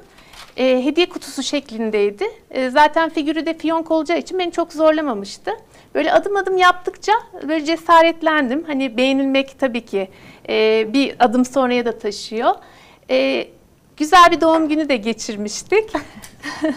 Ardından bir hafta sonra yeni yıl. Hiç figür çalışmamıştım. Bir Noel Baba yapmaya karar verdim 30 Aralık akşamı. Böyle Pinterest'ten tekrar inceledim nasıl yapılır nasıl yapılmaz. E, mutfağa kapandım. Figürü bitirdiğimde, Noel Baba'yı bitirdiğimde sabah saat 4'tü. Ancak uyumaya gidebildim. Sen bir de tabii çok titiz titiz çalıştığın için Evet. böyle her şeyi, bütün ayrıntıyı herhalde yapmak Bir istedin. de o dönem hiç bilmediğim bir şey. İlk kez figür çalışıyorum diyebilirim. Şeker hamuru evet ama kalıp kullanarak yapıyordum. E, figürü elinizle ve yardımcı malzemelerle yapıyorsunuz. İşte e, geç yat- yatınca da tabii en geç ben kalkmış oldum. O dönem annem de bizde misafirdi. Böyle uyandım cıvıl cıvıl sesler geliyor. Masal figürün o zaman çok ufak daha kızım. Figürün başında işte gidiyor geliyor. E, annem e, çok e, coşkulu. İşte mutfağa bir girdim Noel Baba masanın üstüne oturmuş Ya. bizi bekliyor gibi yaklaşınca tabii şımardım da. Akşam e, güzel de bir kutlama yaptık ailece. Sosyal medyada paylaştım ilk pastamı. Yakın çevrem arkadaşlarım da çok beğendi, destek oldu. Ardından eşimin doğum günü Şubat ayı. Hepsi de böyle Evet, arka arkaya gelmiş. arkaya. Şubat ayında e, balıkçılıkla ilgileniyor. Böyle balık figürü yaptım. Sandalın üstünde büyük bir balık işte altta bir adam balığın altında kalmış şekilde. E, hemen ardından da annemle babamın evlilik yıl dönümü 40. yıllarıydı. Ah, ne Onlara güzel. özel bir pasta hazırladım. E, baktım çok da eğleniyorum. Ay, bu iş böyle olmayacak. İnternetten araştırmayla olmayacak. E, daha profesyonel e, kazanmak için seminerlere, kurslara katıldım. Bu şekilde başladı benim. de. Şimdi aslında e, lisansın bambaşka. Hani Tabii. genelde de bu son dönemde değil mi bu girişimcilik hikayeleri biraz farklı bir lisans işte Yasin'inki de sanki öyle olmuş. Devam ettim. Peki şimdi şeyi merak ediyorum. Burada pek çok hani şimdi renk kullanıyorsun. işte bahsettin malzemelerden sağlıklı olduğunu söyledin. Peki nedir? Biraz bize detay versen. Yani ben mesela e, işte şeker hamurunu da yiyebilir miyim? Tabii yani ki. bunun hamurunu e, alıyorsun ama işte içini sen mi yapıyorsun? O renkler, şeyler bir sürü bir detay var Çok bilmediğimiz. detay var. Şeker hamurunu hazır alıyorum. Ben e, tek bir marka kullanıyorum çünkü ondan e, memnunum. Birkaç değiştirdim. Yumuşak olması, figürü Onu da denedin yani tabii, birkaç tabii, deneyerek, şeyden sonra. Deneyerek. E, figürü yapmak için daha yumuşak bir hamur gerekiyor. Yine kaplama için de aynı şekilde. İsterseniz beyaz hamur alıp e, jel boyalarla karıştırarak istediğiniz renkleri de elde edebilirsiniz. E, ben e, kendi rengi ama mesela pembe koyuydu. Beyaz hamurla karıştırarak biraz açtım. Hı, orada da renklerle. Oynayabilirsiniz her şekilde. Bu şekilde hani internetten çok faydalanıyorum malzeme alırken. Ankara biraz kısıtlı. Hiç yok değil elbette var ama daha orijinal ürünleri internetten daha rahat satın alabiliyorum. Oradan da bulabiliyorsun. Oradan bulabiliyorum. Yasin bir taraftan çok da güzel kokuyor. Çok güzel olmuş. Ee, gerçekten çok şık bir buket olmuş. Valla ben de şunu söyleyeyim. Bunu da sana hediye etmek için yaptım bu arada. Ay ne kadar şunu zarifsin. hediye. Bir bayram çiçeği geldi Aynen. programımıza. Efendim görüyorsunuz öyle değil mi? Yani böyle şık bir e, çiçek. Çok teşekkür ediyoruz. Rica ederim. Zaten sizlerin burada bu bayram günü bizimle olmanız ayrı bir hediye. Teşekkür Çok ederim. zarifsiniz. Çok gerçekten harika kokuyor Ne demek, ve keyifle. bayıldık yani. Ellerinize görüyorsunuzdur. sağlık. Harika oldu. Her ne kadar hepimizin yapabileceği tarzda desen de bunu bizim pek yapabileceğimiz biraz zor bir sanat, bir yaratım var sanki. Tabii ki. Şöyle şimdilik koyuyorum izninle. Tamam, ben de Böyle de şık dursun. Şöyle koyayım. Olur tamam seni öyle bir şey yapalım. Şimdi ben e, sen otururken, hazırlanırken Gamze ile devam etmek istiyorum ama balkonlara, yaşam alanlarımıza geleceğiz Berfin. Tamam. Bir de Naked Cake'ten bahsettin. Sen e, biliyor musun Naked Cake? E, duydunuz mu nasıl bir şey olduğunu? Ee, ben bir, bir, bir defa yaptırmıştım. Evet. Değil mi? Öyle bir fikrimiz var sanki son Etrafında hafif bir krem şanti oluyor ve o krem şantinin üzerine canlı çiçeklerle süslüyoruz sanıyorum. Peki nasıl yapılıyor Gamze? Şöyle aslında çok basit bir kek, yapımı çok basit bir kek. Bildiğiniz bir e, kek reçeteniz illaki vardır. E, ben yağlı kek tercih ediyorum lezzetinden dolayı. Ama pandispanyayla da yapılabilecek bir kek. Ortasında pastacı kreması kullanıyoruz. E, etrafını da dediğiniz gibi krem şanti ile çevirebilirsiniz. Ama ben butter krem tercih ediyorum. Krem şanti e, yapı gereği biraz daha Hmm. Yağlı katılaşması gerekiyor. E, pastayı bir bütün halde çünkü kek arasına e, pastacı kreması koyduğunuzda birbirinin üzerinde kayabilir. Onu desteklemesi gerekiyor. Daha yoğun bir kremaya ihtiyacınız var. Hani krem şanti kullanmak istiyorsanız e, beyaz çikolatayla yapılmış ganajla karıştırabilirsiniz. Peynirle karıştırabilirsiniz. E, butter krem Türkiye'de çok da sevilmeyebiliyor. Yeni yeni alıştığımız bir lezzet ama sevenimiz de var. E, butter kremi de isterseniz belli oranda bitkisel yağ, belli oranda e, tereyağla e, yapabilirsiniz. Ben tamamen tereyağı tercih ediyorum. Hem daha sağlıklı hem lezzeti konusunda. Ee, içine meyve kullanabilirsiniz, kuru yemiş kullanabilirsiniz. Ee, en üstü de e, demin de söylediğimiz gibi canlı çiçekle süslenmesi, e, yaş meyveyle süslenmesi gerekmekte. E, ben hazırladım. Ee, Şimdi göreceğiz. İsterseniz şöyle yapalım. Şimdi bayramdan bahsettik. Bayram kahvaltıları dedik, efendim tatlılar dedik. Çok güzel böyle pastalar geliyor ama bayram yemekleri de biliyorsunuz çok kıymetli. Şimdi biz de e, gittik bir e, mekanda isim veremiyoruz ama bayram yemekleriyle ilgili böyle bir çekimimiz oldu. İsterseniz biz bu pastayı getirirken ve detaylarla uğraşırken izleyicilerimiz de biz de şu bayram yemeklerine bir göz atalım. Ne dersiniz? harika Çok olur. güzel. Tamam. Peki o zaman sevgili izleyiciler Elif Şah'la Hayata Dair programı devam ediyor. Bayramın ikinci günündeyiz. Peki bayram yemeklerine dair neler biliyoruz? Bir hatırlayalım, bir izleyelim. Tekrar burada olacağız. Efendim bayram deyince bayram yemekleri olmadan olmuyor. Biz de şu an Gülcan Ulu ile birlikteyiz. Hoş geldin Gülcan. Hoş bulduk, merhabalar. İyi bayramlar diliyorum sana da. Ben de- Mutlu, huzurlu, keyifli, sağlıklı bayramlar diliyorum. Ancak e, bu aslında bayram Evet. ilk bayram. Çünkü deprem felaketini yaşadık ve sen de e, Hatay Kırıkanlısın. Evet, Hatay Kırıkanlıyım. Ee, buruk bir bayram yaşayacağız ama e, çok şükür diyelim. Bir daha aynı şeyleri tekrarla Yaşamayalım. yaşamayalım. E, güzel olur inşallah. İnsanlar umut dolu olsunlar. Her şey İnşallah. güzel olsun. Büyük bir İnşallah. üzüntü geçirdik. Herkese geçmiş olsun diyorum. Şu an bizi ekran başında izleyen. Herkesin yakınlarını kaybedenlere büyük sabırlar diliyorum. Çok canımız İnşallah. yandı ama. Çok canımız yandı. Günlerce uyuyamadık, günlerce yiyemedik, içemedik. Yani o kadar onu derinden hissettik ki ailem de bu durumdan çok etkilendi. Yakınlarımızı kaybettik. Ama inanıyorum ki umutlu olalım, ümitli olalım. o çok önemli değil mi? O Kesinlikle. umudu, ümidi hiç kaybetmemek gerekiyor. Kesinlikle evet. O yüzden de ben tekrar buraya geldiğin için çok teşekkür Ben ediyorum. teşekkür ediyorum. Ee, Sağ olun. Şimdi izleyicilerimiz de merak edecektir. Aslında bizim kültürümüzde tabii yemeklerimiz hem bölgesel değişiyor, çeşitlilik çok fazla, zenginlik çok fazla. Fakat e, biz bugün olmazsa olmazlardan yine bir et yemeğiyle başlayacağız. Evet. Ee, sizin oralara ait Evet. diyeceğim ama aslında şimdilerde pek çoğumuz da bu yemeği seviyoruz öyle değil mi? Seviyoruz kesinlikle. Ee, Şöyle Hatay mutfağı biliyorsunuz e, dünya mutfağı. E, Çok güzel lezzetlerimiz var. Kesinlikle. Bugün onlardan bir tanesini yapacağım. Ee, Hatay usulü tepsi kebabı yapacağım. Tepsi kebabı tamam. Hataylılar Hatay bunu dedik. yaparlar. Çok sık yaparlar. Özellikle bayramlarda, özel günlerde olmazsa olmazları.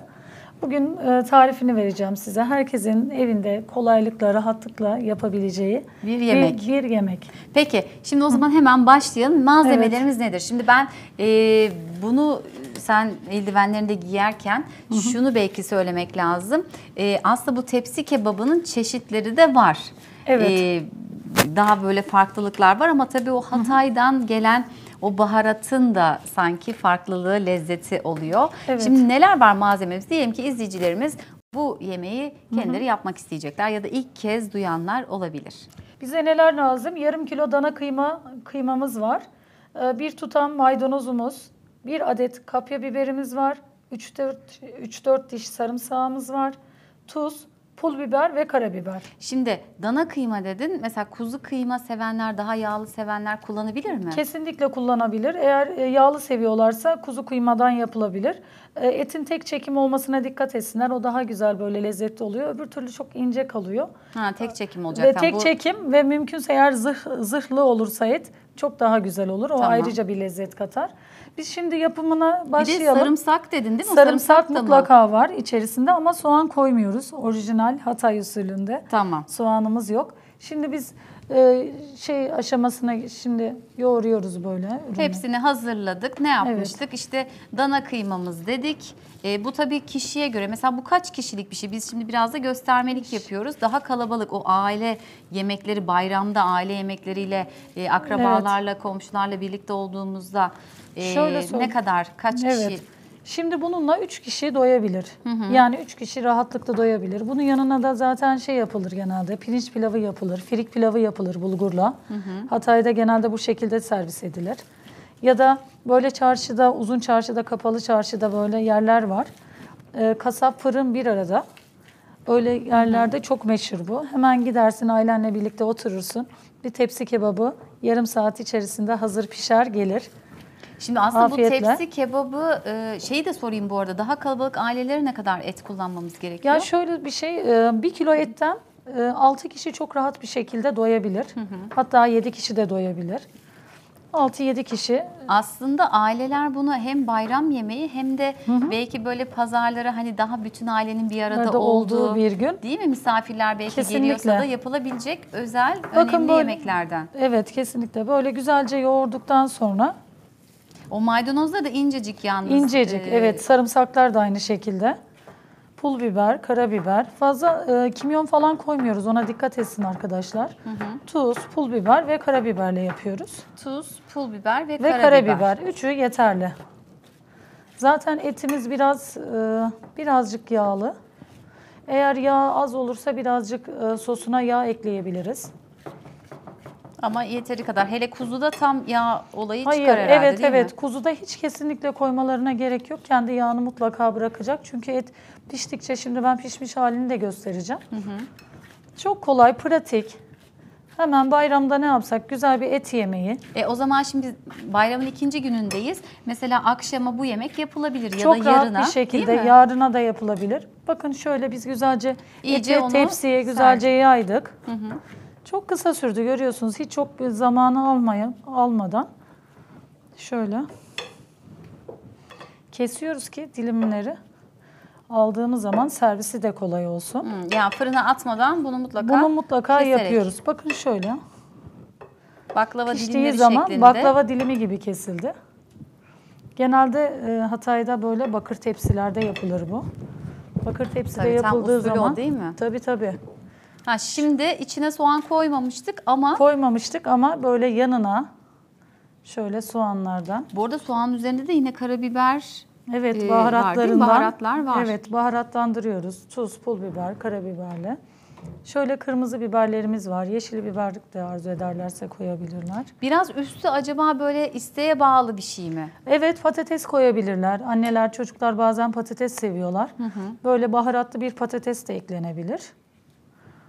Bakın şöyle güzelce hazırladık. Şöyle bir kenara alalım. Üzerine su ve salçayla O kadar yaptığımız. mı? Evet o kadar. Başka hiçbir şey değil. Normal Evet. e, dışarıda beklediğimiz su. Aynen. Soğuk değil, sıcak değil. Sıcak Onu değil. salçayla karıştırdık. Salçayla sulandırdık. karıştırıyoruz. Çok fazla su koymayalım. Et kendi lezzetini bıraksın. Biraz eğer et yağsız olurlarsa olursa biraz yağ ekleyebilirler. Rahat ve pratik bir şekilde Çok pratik bir yapabileceğimiz bir, e, tarif. Ne yapmıştık? E, burada şimdi yarım kilo muydu bizim e, Evet, kullandığımız ben şöyle kıyma? eldivenlerimi çıkartayım. Tamam. Yarım kilo kıymamızı Yarım kilo, kullandık. evet, bir- Dana kıyma dedik. Evet, 3-4 diş sarımsak var içerisinde. Bir adet kapya biberimiz var. O kesinlikle biber çok lezzet katıyor. Maydanozumuz var. Bir İncecik kıyılmış ama İnce değil kıyılmış, mi? O çok aynen, önemli. Aynen evet. Ee, soğanımız, soğanı sonradan üzerine katıyoruz. İçerisine soğan katmıyoruz. Tuz, pul biber ve karabiberle etimizi güzelce yoğurduktan sonra tepsiye yayıyoruz. Ondan sonra üzerine garnitürlerini ekledikten sonra sosunu döküp fırına göndereceğiz. Ne kadar süre kalacak fırında? 45 dakikada böyle çok güzel hatta şu an pişmiş halini Tamam. Bunu ben böyle çekiyorum sana yardım Evet. edeyim. Bu Sen da onu aynı tepsinin bakın bu şekilde pişmiş hali. Böyle çok güzel sıcacık ekmekle yanına güzel bir pilavla.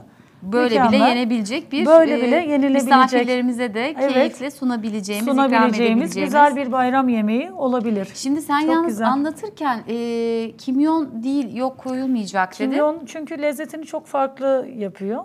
Çünkü hani bazı buna ete yakışmıyor. Yani et- tepsi kebabında kimyon kesinlikle koyulmaz Tamam yani. çünkü koymuyoruz. kimyon önemli bir bahar. Her yere aslında Evet. koymayı tercih edenler de var. Ama, her bunu yerde olmuyor. istemiyoruz. Her yerde olmuyor. Tamam bu böyle ipuçlarını da verdik sevgili Evet, izleyiciler evet, size. evet. Ee, gördüğünüz gibi 45 dakika kaç derecede pişirecektik bunu? 200 derecede, 200 derecede. alt üst ayarda, e, 45 derecede servise hazır olur. Evet şu anki hazırı da görüyorsunuz zaten. Evet. Ee, biz bunu da fırına böyle rahatlıkla atıp e, misafirlerimize Firlerimizi ikram karşılayabilir, edebiliriz. ikram edebilirler. Harika. Ben şimdi bunu istersen şöyle koyayım. Çünkü burada pek çok farklı e, Evet. örnekten de sen bize Evet. göstereceksin. Şöyle koydum. Şimdi bizim e, özellikle hani bugün e, burada hazır yapılmış şekilde getirdim ben. Hani kuru patlıcan, kuru biber dolması Hatay'da. Bunlar da tam evet, olmazsa kesinlikle olmazlar. olmazsa olmazı. Ben zeytinyağlı yaptım ama etli de tercih edilebilir. Bol zeytinyağlı ve nar ekşili. Bizim Hatay'da bayram sofralarını mutlaka Sadece Hatay'da mı? Tüm Ya bütün- ülkemizde tam değil mi? ülkemizde ama Hatay'da e, inanılmaz derecede böyle kazan kazan yapılır bayramlarda. Şimdi ben e, şunu sorayım o zaman. Hatay'a ait farklılıklar nedir? Şimdi bu sarma deyince ya da Evet. kurdolma. Hani kurdolma biraz daha güneye ait aslında ama işte sarma hepimizin e, lezzetli Lezzetli. e, yediği bir e, yemek. E, Hatay'ın farkı ne? Hatay'ın farkı nar ekşisi koyuyoruz mutlaka. Nar ekşisi, mi? ekşisi, zeytinyağı, e, biraz biber salçası, kimyon hiç koymuyoruz. Yine kimyon yok. Kimyon yok ve yeni bahar yok. Ha, o da yok. Yeni bahar bol soğanla yapılıyor. E, tabii nanesi, e, karabiberi, karabiber mutlaka dolmamızda var. Bir de bol sarımsak. Sarımsak. Evet. Ha, izleyiciler şimdi Evet, sevgili aradaki- izleyiciler e, burada öğrendik niye bu kadar Hataylıların e, lezzetli yemek yaptığını o sarımsak mı veriyor tadı? Sarımsak çok güzel lezzet veriyor. Nar ekşisi zaten kendi ürettikleri nar ekşisi olduğu için doğalından olması ona ayrıca bir kat E, veriyor. salçası, hepsi Salçası hepsi kendi ait. yöremizden. Daha böyle mis gibi lezzetli güzel bir bayram menüsü oluyor genelde. Kesinlikle. Hep yapılır E, evlerde. Peki böyle mesela biz biliyoruz gerçi ama bu mesela şeyleri kendiniz mi kurutuyorsunuz? Ne yapıyorsunuz? Evet, annemler yapıyorlar, ablamlar yapıyorlar yaz döneminde. Benim kendi iş yerimde de kullanıyorum bu ürünleri. Yani aslında biz de kendimiz kurutabiliriz ve bunu da Kurutabiliriz. yapabiliriz Evet, lezzetli. yapabilirler. Çok da güzel olur.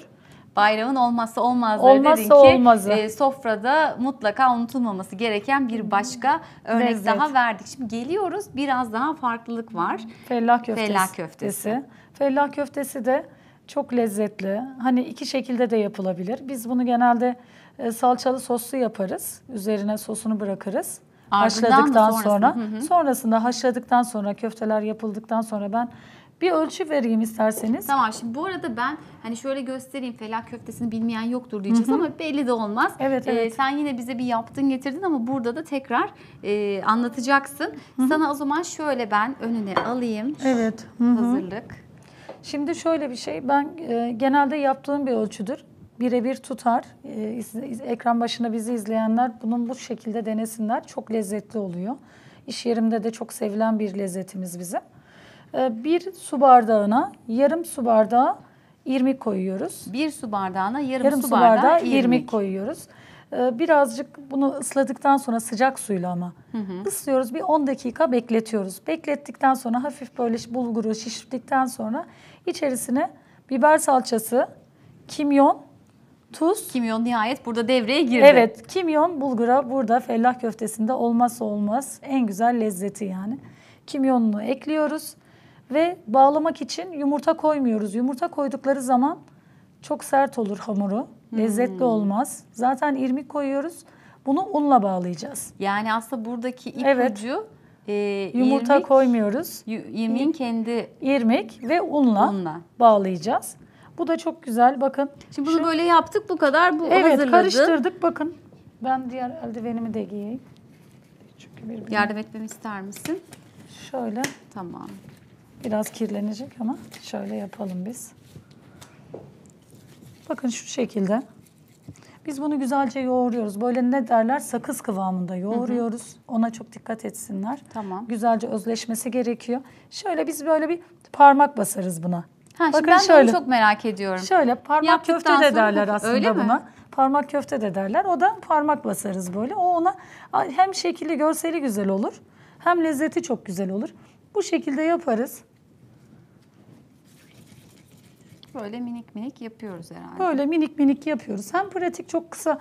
Ben şimdi yavaş yavaş yapıyorum ama normalde Şimdi ama çok görsünler ben izleyicilerimiz de. izleyicilerimiz görsünler de diye bu şekilde. Arkadaşlarımız şöyle. detayda alacaklardır. Evet şöyle. Evet. Batuhan tam görebiliyor musun şu an? Tekrar sana gösterelim mi buradan? Ee, o kameraya doğru. Bakın. Evet şu an şöyle hafif gösterirsek. Şöyle. Parmak evet. Parmak köfte de denilir. Hı hı. İçerisinde kimyon, biber salçası, tuz, bulgur ve irmik var. İrmik. İrmik, İrmik. önemli burada. Kesinlikle. Unla e, Bağlıyoruz. bağlanacak. bağlandı. Şimdi bunu bu şekilde yaptıktan sonra üzerine un serpmeye gerek yok. Suyunu hazırlıyoruz sıcak suyun içerisine. E, O çok güzel püf noktası. Ya limon ya da limon tuzu koyuyoruz. Ha, ya limon ya Suyuna limon tuzu. damlatıyoruz. Çünkü bulguru dağılmasın diye tekrar orada bir şeye uğramasın diye. Açılmasın diye. Açılmasın, görseli bozulmasın diye. İçerisine biraz tuz ekliyoruz. Ondan sonra yaptığımız fellahları su kaynadıktan sonra içerisine atıyoruz. Böyle tek tek değil de Yok kepçeyle falan şöyle. mı atıyorsun direkt? Yok şöyle. Hemen tabağa Ha, boşaltabiliriz. o kadar hiçbir Aha, sıkıntı yok. Çünkü zaten çok güzel bağladığımız için dağılma şansı yok. Yani biz de ilk kez yapsak da böyle yapabilecek miyiz? Senin Kesinlikle. şimdi Bence çok emeğinden rahat- ve Evet. lezzetinden ve becerinden Benim mi birebir acaba? evet birebir tutan bir e, benim şey menü. Bizim belki ilk seferinde olmayabilir o zaman. ben Öyle bir- tutacağını düşünüyorum. O kadar çünkü çok denedim, çok yaptım. Gerçekten de O zaman güzel hemen bize sonuç bir kere alırsınız. daha bir hızlıca şey yapar mısın tarifi? Bunu bu kıvama getirmek için ne yapıyorduk? Bir şey bir su bardağı bulgura yarım e, su bardağı irmik, İrmik. koyuyoruz. Sadece ıslatıyoruz. Sıcak suyla ıslatıyoruz. 10 dakika bekletiyoruz. Tamam. Beklettikten sonra kimyon, biber salçası, tuz, e, güzel ve 2 kaşık un koyuyoruz. O kadar. 2 kaşık unla güzelce karıştırıyoruz. Havum böyle tamamen sakız gibi yoğuruyoruz. Bunu özellikle belirtiyorum. Çünkü böyle aman hemen yapalım da koyalım demesinler. Bu defa dağılır bütün yemekler boşa gider. O yüzden üzülürüz. sabredeceğiz. O Biraz kıvama sabredeceğiz. gelecek. Şöyle parmakla basacağız Harika. ve hazır. İşte. Bir de sos kısmını anlatalım Evet biz. şimdi bu hale gelmesi. Şimdi buradan Evet. biz onları haşladık. Haşladık. Ee, suda hiç dağılmadan tam senin Dağılmadan. dediğin gibi çıkarttık. Çıkarttık, süzdük, servis tabağına aldık. Ondan sonra ben bunu özellikle hani sosunda bunu yapılmasını e, dikkat ediyorum. Domatesi rendeliyoruz. Güzel. Ya da böyle rondodan çekiyoruz. Peki bizim bu yaptığımız yazdan domatesleri hani kavanoza Süper koyup olur. kullanabilir miyiz? Kesinlikle konserve dom- Zaten biz kışın iş yerimde de öyle. Yazın e, mevsiminden domates kullanıyoruz. Hem Kışın kokulu kokulu onlar kokulu. çıkıyor ya. Kışında kendi yazın yaptığımız konservelerimizi kullanıyoruz. Rondonun içerisine domatesi koyuyoruz. içerisine sarımsak. Bolca, Yine sarımsak. Sarımsak Kesinlikle. demek ki bu Sosunda olma. mutfağın olmazsa olmazı sarımsak. Aynen sarımsağını bolca sarımsak ekliyoruz içerisine. Yapacağınız sosun miktarına göre değişir o. Ama bolca sarımsak. Tamam. İçerisine Yani kimyon. tahmini mesela kaç diş Şöyle e, 3-4 koyacağız? diş sarımsak yani çok az yapılacaksa hani bir tabaklık yapılacaksa 3-4 diş yeterli. Ama O bir de böyle fazla geliyor böyle bir bana. servis tabağı gibi yapılacaksa hani şu Şöyle bir- yaptığımız gibi servis tabağının içerisine 6-7 diş sarımsak yeterli olur. Onu da rondonun Çok içerisine gelmeyecek yani bize çok o kadarını gelmeyecek, çok da koyacağım. lezzetli oluyor. Çünkü Tamam. o pişeceği için sosuyla birlikte. Ee, Bunların hepsini koyuyoruz. Güzelce makineden çektikten sonra tencereye alıyoruz. İçerisine zeytinyağı, tereyağı, domatesi. Tereyağı da koyuyoruz. Kesinlikle tereyağı. Bulgura çok fazla, çok güzel yakışıyor. Tereyağını da koyuyoruz. İçerisine baharatlarını ekliyorum, ekliyorum ben. Ee, tatlı biber salçası Hmm, bu sefer içerisine. Tatlı biber, bir kaşık tatlı biber salçası koyuyorum. Tamam. Ee, Bir kaşık pul biber koyuyorum mutlaka içerisine ve birazcık da karabiber, biraz da kimyon koyuyoruz. Kimyon. Olmazsa Kimyonu hiçbirimiz olmazı. unutmuyoruz Onu artık. güzelce karıştırıyoruz. Karıştırdıktan sonra içerisine birazcık da sıcak su ekleyip tencereyi kapatıyoruz. Güzelce kaynayana kadar, o özleşene kadar sosunu hazırlıyoruz. Ama arada mutlaka karıştırsınlar çünkü e, sos Çökmesin. hazır çökmesin, dibinde yan, yanık kokusu çıkmasın diye ona dikkat etsinler. Ne kadar sürüyor o karıştırma Bir işi? 15 dakika falan, 15 dakikada, Tamam. 10 dakikada sosumuz da hazır. Zaten istediğiniz gibi servis yapabilirsiniz. Harika. Sonra da Evet. e, maydanozlar yine galiba Maydanozlarda e, maydanozlar söz şey yapabiliriz. Güzel bir görsel yapabiliriz. Şunu da yapabiliriz. Genelde bu şekilde de tüketiyorlar. Sarımsaklı yoğurt üzerine. Sarımsaklı. Her ikisini de koyabiliriz Ama belki. ikisini de koyabilirsiniz. Benim bazı müşterilerim mesela sarımsaksız, yoğurtsuz yiyemez yani. O bunu. yoğurdu da en son artık servis yapacağımız servis zaman yapınca üstüne- şöyle üzerine bir görsel gezdirebiliriz. O da ayrıca güzellik katar. Evet sevgili izleyiciler görüyorsunuz biz aslında burada e, Hatay yöresine ait bütün şifreleri çözüyoruz bir taraftan evet, galiba. çok ince ayrıntılı veriyorum olabildiğince. Harika. Şimdi bunları bize gösterdin. E, ama Şimdi daha bir e, bir böreğimiz evet, var. böreğimiz var. İstersen Bu çok ona da yaptığım, çok Tamam. çok beğenilen bir börek. Şimdi Onu sana da- şöyle alan açacağım. Bu alan yeterli midir çalışman için? Yeterli, evet. Tamam. Şimdi o böreğimiz de aslında burada değil mi? Şimdi e, Evet o da pişmiş hali midye börek. midye börek diye geçiyor. Şimdi tabii biz e, Ramazan bayramındayız şu an. E, aslında Evet, Kurban şöyle Bayramı da olsa şeklinde yine bir de göstermek böreklerde istiyorum. yapıyoruz değil Bakın mi? kesinlikle biz e, bayramlarda Hatay'da da çok yaparız. Kendi evimde de çok yaparım. Müşterilerim de çok beğeniyor. Midye şeklinde böyle özel davetlerde, nişan, düğün, organizasyonlarda da bu tarz böreği Ee, doğum günlerinde Gerçekten yapıyoruz. de ilginç yani. Biraz zor Hem çok gözüküyor şık, ama zor. bilmiyorum nasıl yapımı. Bakalım. Yo hiç zor değil. Ben alıştığım için artık biz bizim olmazsa olmazımız. Şöyle zaten bir tüm yufkayı dörde bölüyoruz. Tamam. Böldükten sonra şöyle ben bir sos hazırladım ona. Nedir o sosta neler Sosun var? içerisinde e, şeyimiz var, zeytinyağımız var, yumurtamız var. Zeytinyağı kullanıyorum ben genelde. Yumurtamız var. Ben de sanki zeytinyağı değil mi? Ben de Evet. mutfakta zeytinyağı tercih ediyorum. Evet, hem çok sağlıklı. Hani mümkünse eğer, eğer mümkün değilse ayçiçek yağı da kullanabilirler. Hı hı. Başka yağ Şöyle. kullanmak isteyenler de olabilir. Olabilirler. İşte fındık yağı biliyorsun bu son dönemde Evet, soya fındık yağı, evet soya yağı kullanabilirler.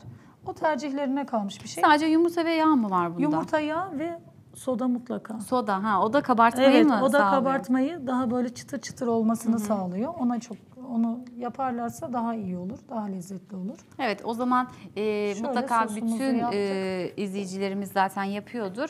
Ama şunu çekmem mi gerekiyor Kerem sanki bana işaret ediyor bir taraftan sevgili izleyiciler. Bunu ben hemen bir kaçırayım şöyle. Şöyle yapabiliriz. Buraya Yok alalım. buraya bunu hallettim. kullanacağım. Kullanacak mısın? Ha, Evet. şu doğru bu senin içindi değil mi? Evet, Bir dakika, evet. Şunu da karıştırdım. Şöyle yapsak.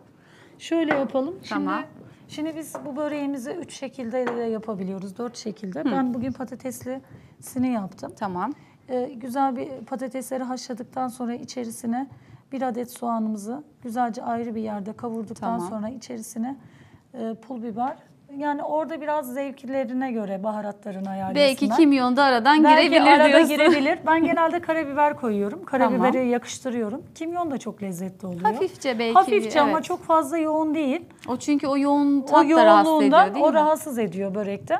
Olabildiğince daha böyle şey naif olursa lezzetleri, baharatları daha güzel olur. Tamam. Onu güzelce patatesi güzel rendeledikten sonra haşlayıp rendeledikten sonra içerisine kavurduğumuz soğanları ekliyoruz. Baharatlarını ekliyoruz. Güzelce karıştırdıktan sonra e, böreğimizi yapıyoruz. Burada bir salça E, var mı? Şey Hazır. hayır salça yok içerisinde. Aha, hiç koymuyoruz Biber öyle. salçası var. Hı. Şey birazcık çok az biber ya salçası. öyle bir biraz şey- da pul biber koyuyoruz ki biraz rengi de güzel olsun. Gördüğünüz gibi İlla şifreyi renk- almak biraz zor oluyor yani illa sormam gerekiyor. Aynen öyle. Şimdi onun içinde tekrar bir böyle geçelim istersen zeytinyağı, yumurta. Ta- ha ve- burada yumurta akı falan değil. Yok tamamen yok bir tamamen bir yumurtayı, bir yumurtayı. kırabilirler. Tamam Evet. ve e, şey koyduk. İçerisine soda E, ekledik. soda ekledik. Sodanın Soda ama hepsini ekledik. eklemiyorsun herhalde. Hepsini mi koydun? Sodanın hepsini yani bir tane sodayı ekledim Tamam. ben. Bir yumurta, bir soda, bir çay bardağı da e, ayçiçek yağı ekledim. Tamam. O şekilde yaptık. Şöyle güzelce şöyle yaptık. Bilmiyorum dörde e, bir tüm yufkayı dörde bölüyoruz. Tamam. Bakın şöyle şuradan başlıyoruz. Hmm, şimdi Şöyle. yapılışını arkadaşlarım görüyorlar. Aynen çok güzel gösteriyorlar. Bütün o midyenin Evet şöyle. Bakın bunun ucunu burada topluyoruz. hazırladığımız Şöyle iç harcımızdan ekliyoruz. Tam o orta kısmına mı koyuyorsun? Evet. Tam şöyle uç kısmına toparladığım kısma Tamam. şöyle. Şunu da şöyle sarma sarar gibi kapatıyoruz yanlardan. Hı hı. Şöyle ileriye doğru. Bakın çok sıkmadan, çok görselini bozmadan şöyle. Zaten Harika. Ay bakın, çok şık. Çok şöyle. şık duruyor. şöyle güzel bir börek. Hemen sana şuraya koyacaktık değil mi? Evet. Tamam. Bir tane daha yapabiliriz. Hadi bir tane daha gösterelim. Bir tane daha çünkü bazen kendi müşterilerim de Gülcan Hanım nasıl yapıyorsunuz şekli falan çok güzel oluyor. Detayda tekrar Bence- görelim mi arkadaşlar? Evet, şöyle. Sosumuzu çok basit. Sosumuzu koyduk. Biz bunu ıspanaklı ve tulum peynirli sade de yapıyoruz. O da çok tercih ediliyor.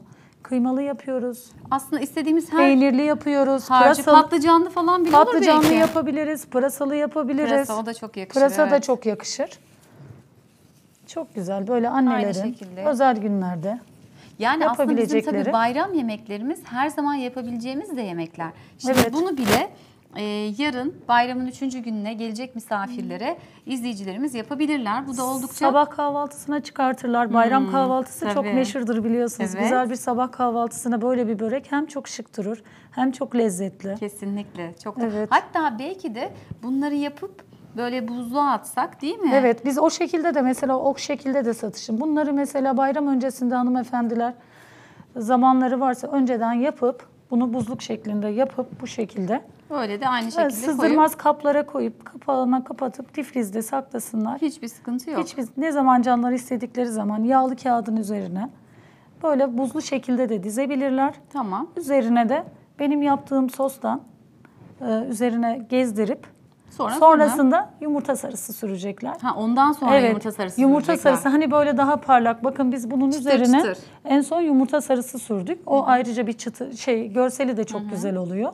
Bazen çörek otu ekliyoruz, bazen susam ekliyoruz hani görsel. O da güzel. Ben biraz görsele çok belki. önem verdiğim için illa böyle bir şeyler eklerim. Bugün sade yaptık ama O Bakın. tamamen izleyicilerimizin zevkine bakın yine kalmış aynı bu bir şey. şekilde.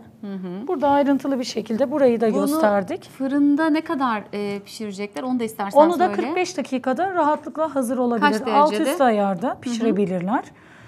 Aslında bakacaklar yani zaten börek e, Zaten o pişmesi- kızardıktan sonra üzeri zaten pişime hazır olmuş olur. Kızardıktan sonra. Kesinlikle bunları da gösterdik. Şimdi ama ben Şimdi- şeyi söylemem lazım. Söyle. Bayram kömbesini söylememiz lazım. Onu tabii yani Söyleyelim, şimdi e, olmazsa olmaz biz seninle konuşunca yemeklerde dedin ki e, şey eğer bayramla ilgili örnekler veriyoruz mutlaka Evet. kömbemizden de bahsetmemiz gerekir dedim. Bu arada ben Şunu da- arkadaşlarıma şöyle bir olmuş olan halini de gösterebilir miyim? E, midye böreğin patatesli hali ama ne dedik? E, her türlü iç harcını kullanabileceğimiz kullanabilirler. bir e, midye börek. Evet bunu da gösterdiğimizi düşünüyorum şöyle Evet. koyuyorum ve Bayram. gelelim bayramın Hatay bölgesine ait olmazsa olmazlarından bir başka. Hatay kömbesi olmazsa olmazımız. Bunu hurmalı. Kömbe ne demek şimdi onu sorayım mı ben? Kömbe ne demek? E, Hatay'ı biliyorsunuz. E, Hatay böyle baharatların şeylerde mutfakta çok kullanıldı. Evet. Çok kullanıldığı için tatlıya da girdi tabii bunlar. 21-22 çeşit baharatın içerisinde olan bir tatlı, bayram tatlısı. Yıllardır böyle bayrama yakın, bayrama bir hafta 10 gün kalasıya bütün evlerden, işte fırınlardan bu kömbe kokusu gelir. Hmm, demek ki bu gerçekten Yani olmazsa oranın olmazlardan şeyi olmazsa biri. olmazı. Hatay'ın olmazsa olmazı. Bunu iki şekilde genelde yaparlar. Hurmalı, güzel bir Ben daha çok hurmalıyı sanki duydum gibi. Evet, daha hurmalı. baskın sanki. Evet yani hurmalı da yapılıyor. Hatay kömbesini iki şekilde yapıyoruz. Hurmalı ve cevizli olarak. Hurmalı içerisine hurma güzelce e, içerisine tarçın koyanlar da var. Ekstra tarçın. Tarçın. Evet tarçın. E, sütle yoğuranlar var. Hamuruna süt katanlar var. Sütsüz de yapanlar var. Tereyağıyla da yapabilirsiniz. Ha, pek çok ihtimalimiz yani var. birçok ihtimalimiz var. Baharatların e, çok çeşitli baharat olması, odun ateşinde yapılması, geleneksel olması ve şöyle bir özelliği var. Bunu yaptığınız zaman bu ürünü bayatlama şansı yok. Nasıl yani? Ve aylarca bir 5 ay, 6 ay biz mesela annem bayramlarda bunu Hatay'da biz yaparız. Böyle cam kavanozlarda kapaklı bir şekilde kapatırız. O tazeliğini her şekilde korur. Yani herkes bunu evinde yapıp böyle güzel bir kurabiye bayatlamadan e, misafirlerine ikram, İkram edebilirler. edebilir. Bayramda da çok güzel bir şekilde ikram edilir bu çayla birlikte. Harika. Mükemmel bir lezzet. Gerçekten çok Mutlaka güzel. herkes denesin. Bunların özel kalıp, kalıpları var. Böyle tahtadan kalıpları var. Her yerde bulabilirler. internetten getirtebilirler. Hamurunu hazırladıktan sonra güzel o hamurların içerisine ceviz ya da hurma ile birlikte kapatıp güzel bir böyle fırına gönderip mis gibi evlerinde kokuları olsun böyle tam bayram havası. Tam bir bayram lezzeti bayram olsun lezzeti değil mi? olsun evet. Gülcan ben çok teşekkür ediyorum. Ben Ee, teşekkür buraya ederim. geldin. Ee, bize hem böyle hızlıca o yöresel lezzetleri hatırlattın. Ee, tariflerini, reçetelerini verdin. Çok teşekkür Evet, ediyoruz. ben çok teşekkür Gerçekten ediyorum. diliyorum ki böyle bu lezzetlerde geçsin bayram. Evet, ben de buradan bize ekranları başında izleyen herkesin bayramını kutluyorum. Bütün güzellikler onlarla olsun. Nice güzel bayramlarımız olsun inşallah. İnşallah hep birlikte Çok diyoruz o teşekkür halde. ederim, sağ olun. Evet sevgili izleyiciler izlediğiniz yemekler birazcık da böyle sanki e, canımızda çekti gibi ama biliyorum ki hepimiz de e, bu bayram hazırlığını yaptık en azından pek çoğumuz. Peki sizin e, böyle sevdiğiniz hani daha geleneksel Osmanlı'ya ait yemek kültürümüze ait sevdiğiniz neler var? Şöyle bir sorayım mı? Ben Ramazan'da en sevdiğim tatlardan biri güllaçtır. Yemek peki? Ee, yemek olarak da e, aslında güveci çok seviyorum. İçinde sebze, et, her şey barındırdığı için güveç çok Güveç hoşuma diyorsun. gidiyor. O tabii Evet. pişme şeyi. Evet. Peki Yasin senin? İçinde et olan her şey ya. Yine etçi. Yani müthiş. Öyle bir şeyimiz yok. Peki sende? Benim olmazsa olmaz yaprak sarması diyeceğim. Çok klasik olacak belki ama bayram deyince aklıma yaprak sarması ve Evet, baklava doğru. geliyor. Tam işte bizim kültürümüze ait ve tabii ki etsiz olmazsa olmazlar. Dolma benim de tercihim her zaman yaprak sarması. Peki şimdi böyle bir anda pasta gelmiş gibi oldu. Ee, zaten sen galiba hazırlamıştın Evet. değil mi? Bu naked cake diye bahsettiğimiz Pasta. e, evet. pastamız budur. E, bunlar gal- galiba belki daha bir iki katlı da olabiliyor mu ya da üç katlı böyle şeyleri daha var uzun mı? da çalışabiliriz, daha Hı hı. kısa da çalışabiliriz. Dediğim gibi çok Genelde basit bir kek. bu ama tercih, sanki. Hani nasıl tercih edil- edilmek isteniyorsa o şekilde ilerlenebilir. Ben e, 4 e, kattan Kattan. oluşturdum. Keki 4 kat, e, kreması 3 kat oluyor dolayısıyla. Harika Etrafında gözüküyor. batır kremli tereyağla yaptığım, tamamen tereyağla yaptığım batır kremle çevirdim. Şimdi bu hazır. Yasin'e doğru sanki biraz yavaş yavaş Birazcık şöyle gelecek alayım değil mı? mi? Evet, Alabilir miyim? lütfen. O zaman ben de yavaş yavaş süslemeye başlayayım. Evet. Olur. Biz o sırada e, yaşam alanlarımızdan bahsediyorduk. Balkon dedik. Yasin'in çiçeğinden böyle laf lafı açtı. Şimdi e, en önemlisi en son söylediğin Ölçeğimize göre mobilya seçimi yapmamız. ve kişisel bazlı mı hareket ediyorduk? Evet, kişisel bazı. Yani senin kullanımın çok farklı olabilir. Yasin'in balkonda kullanımı çok bambaşka olabilir. Dolayısıyla e, kişisel olarak o balkonu ne maksatla kullanacağız? Önce bunun e, araştırmasını yaptıktan sonra o balkonu size uygun hale getirmemiz gerekiyor. Peki bu ben şey görüyorum hani böyle e, açılır kapanır katlanan Evet. hani bunlar e, gerçekten uzun vadede kullanışlı mı? Hani Çok biz tamam ha, yani buna şey yapabiliriz Çok öyle mi? kullanışlı. Şu Tercih sebeple bir de yani sizin kullanımınız da dediğim gibi çok önemli. Mesela e, balkonda kışın da vakit geçiriyorsanız Hmm. özellikle e, orayı bir kış bahçesi gibi de kullanacaksanız e, tavanını ve yanlarını mutlaka kapatmamız gerekiyor her halükarda. E, açılır kapanır olduğu zaman da e, istediğiniz zaman o tavanı açtığınızda ya da yandaki kapamalarımızı açtığımızda orası bahçenin tamamen içerisinde konumlanmış oluyor. Kapadığımız zaman da kışın kış bahçesine dönüşmüş oluyor. Dolayısıyla çok Yine ergonomik diyeceksin değil mi? çok fonksiyonel bir şekilde kullanmış olacağız. Tabii maddi e, kısmına biraz değinmem gerekirse bütçesi biraz pahalı e, kısımlar bu kısımlar. Yani yan kapamalarımız ve tavan kapamamız bütçesel olarak biraz pahalı ürünler. Fakat bunların kullanımı arttıkça tabii ki e, maddi kısmı biraz daha geriye doğru yavaş yavaş gelmeye başlıyor. Ee, ama illa kapatmak zorunda değiliz. Birkaç sene açık kullanırız. Daha sonrasında onu kapalı bir mekana Hepsi bir anda olmak zorunda değil. Aynen öyle. Bütçemizi neye uygunsa her şeyi parça parça yapma imkanımız var tasarım Peki anlamında. ben biraz da hani şimdi böyle bizi izleyen e, hanımefendi izleyicilerimiz biz seviyoruz ya o renkler işte şıkır şıkır olsun süslemeler. Evet. Şimdi bize olması gerekeni anlatıyorsun işte boyutları ama balkonlarımızı ya da dediğim gibi dışarı alanlarımızı süslemeyi nasıl yapacağız? Yani oraya işte cam e, kavanozlar yok işte değişik içinde limonlar falan hani böyle ilginç ilginç şeyler görüyorum ben. Evet. E, sanki bunlar da hoş mu oluyor? Ne, neler var Çok mesela? hoş oluyor. Hatta şöyle söyleyeyim, e, mumlar. Yani zeminlere biz özellikle mumlarımızı yerleştiriyoruz ki bir aydınlatma. Ya tamamen doğallıktan yanayız aslında bahçelerde ve balkonlarda. Yani bizim normal e, bir aydınlatma alıp e, onun montajını yapmak yerine zemine mumlar yerleştirip Hmm. onun ışığıyla ya da orta masamıza mum koyup onun ateşiyle belki de e, daha Bunu güzel bir ışık elde Fenerler ediyoruz. falan mesela. Fenerler kullanıyoruz dediğim gibi. Ya biraz daha aslında e, ev evin içerisinde kullan- kullandığımız aksesuarları bahçeye taşıyoruz.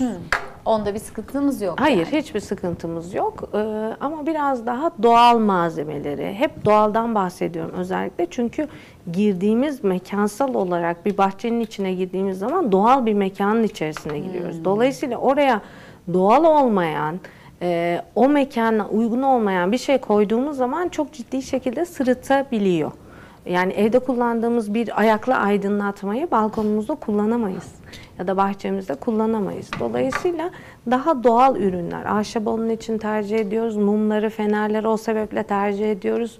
Yani hep hareket ederken mekansal olarak kurgulamamızı nerede bulunduğumuzla da çok ilintili bir şekilde Peki, yapıyoruz. bu şimdi yeni trendler işte bahar yaz sezonu e, var mı böyle bize vereceğin ipuçlar ya da mesela renkler hani öne çıkan renkler var mı bu sene onlara mı daha ağırlık vermeliyiz? Ya Daha genellikle biraz önce Yasin de bahsettiği gibi eskiden birçok rengi kombine edebiliyorduk. Fakat son 4-5 sene içerisinde genelde daha yalın, daha sade tek renk üzerinden gitmeyi tercih ediyoruz. Mesela beyazlar, kremler, toprak tonlarını tercih ettiğimiz daha ferah mekanlar e, yapabiliyoruz ya da tamamen bunun zıttı antrasitler, griler, grinin tonlarını ya da kahvenin tonlarını, koyu kahvenin tonlarını kullandığımız biraz daha e, atmosfer olarak daha loş atmosferleri tercih ettiğimiz renkler oluyor tabii. E, bunlar da tamamen çok doğru bir yere değindi Yasin az önce. E, Her şeyde farklı renkleri kullanmak yerine mobilyalarda ve ana kullandığımız e, aksamda tek rengi tercih edip onları farklı renklerle, aksesuarlarla, halılarla, çok küçük dokunuşlarla renk katabiliyoruz. Ama genellikle e, gri veya dediğim gibi beyaz beş tonlarını kullanıyoruz. Ben de beyazı çok seviyorum. Bir de bu o zaman şöyle bir avantajı da var. Diyelim ki biz işte bu senin bahsettiğin gibi belli bir renk tonunda gidersek ardından işte e, belki turunculara işte bir ay sonra, altı ay sonra yeşillere Kesinlikle. değil mi? Böyle oynayabilir. O da aslında bizim için yeni bir mekan, ciddi Evet. bir değişiklik havası da yaratır galiba. Evet, evet. Yani bizim e, elimizi güçlendiriyor. Yani istediğimiz zamanlar açık renkler, istediğimiz zaman patlatacağımız mesela biraz önce konuştuk ya mesela bayramda açık renk bir koltuğumuzun üzerine e, cıvıl cıvıl baharda mesela cıvıl cıvıl renkler koyarken bu kış sezonuna girdiğimiz zaman daha koyu renkleri, daha toprak tonlarını kullanabiliriz. Bu da oldukça e, bizim için Bizi rahatlatır, kesinlikle. Evet. kesinlikle. Şimdi bir taraftan da böyle bir takım yaratılar ortaya çıkmaya başladı. çok Evet, güzel çok çiçekleniyor güzel. pasta. Teşekkür ederim. Şimdi arkasını çeviriyorum. Sürpriz yapacağım. Tamam. E, o zaman şu şeker hamurları ya gerçekten insanın sanki böyle ağzına atası geliyor. Öyle değil mi? Evet, Berfin evet, görüyorsun değil mi? Ne Benim- kadar şık olmuş. Bunlar da böyle tam bir bayram şekeri yapmışsın bize Evet. Gamze. Bayram şekeri şeker bayramında olmazsa olmaz öyle değil mi? Harika olmuş. Peki bu e, devam edecek mi? Daha devam ediyor musun şeyleri yapmaya? Pastamız gelsin mi? Nasıl yapalım? E, getirebiliriz. Ben e, şimdi kuruması gerekiyor çünkü e, şu an daha kurumadığı Öyle için mi? pastaya yerleştiremeyeceğim. Tamam. E, dün hazırladıklarımı kullanıyor olacağım. Onlar da çok Aynı harika şekilde gözüküyor zaten gerçekten. aynalarını yaptım. E, kuruması gerektiği için isterseniz alabiliriz pastamızı. Tamam o zaman şöyle yapalım mı? Şimdi biz Yasin e, program başında bahsettik.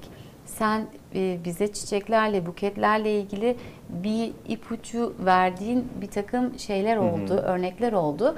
Biz e, bu program öncesinde Yasin dükkanına gittik ve orada e, istedik ki bize bayramda gelen buketler, bizim götürdüğümüz buketler nasıl o çiçekler daha uzun ömürlü kalır?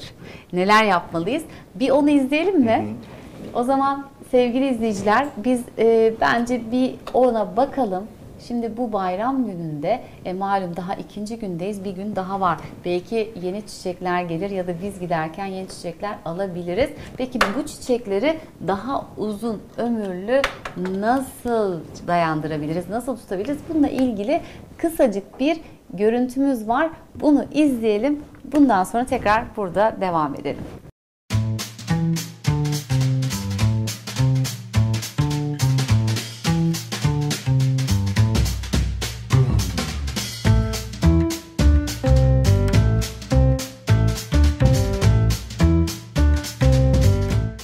Evet. Sabah kalktınız, çok güzel bir buket aldınız ya da gittiniz kendinize çok güzel bir buket hazırlattınız çiçekçiden.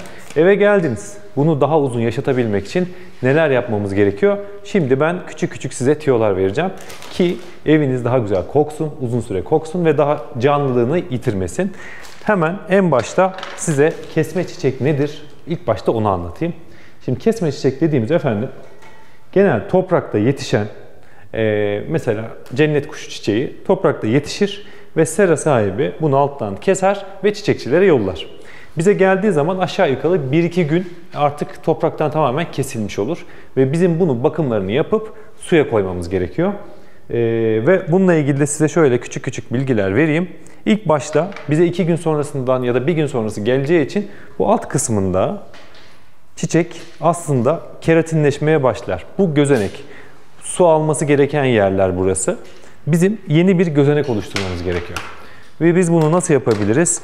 Maket bıçağınız varsa maket bıçağınızla, bağ makasınız varsa ya da hiçbir şey bulamadınız bir makas yardımıyla bunu verev şekilde kesmemiz gerekiyor.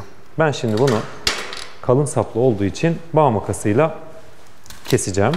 Ve ben artık bitkinin daha uzun süre yaşasın diye rahat rahat su olabilmesi için gözenek oluşturdum. Şurada. Verev kesmemdeki neden de şu.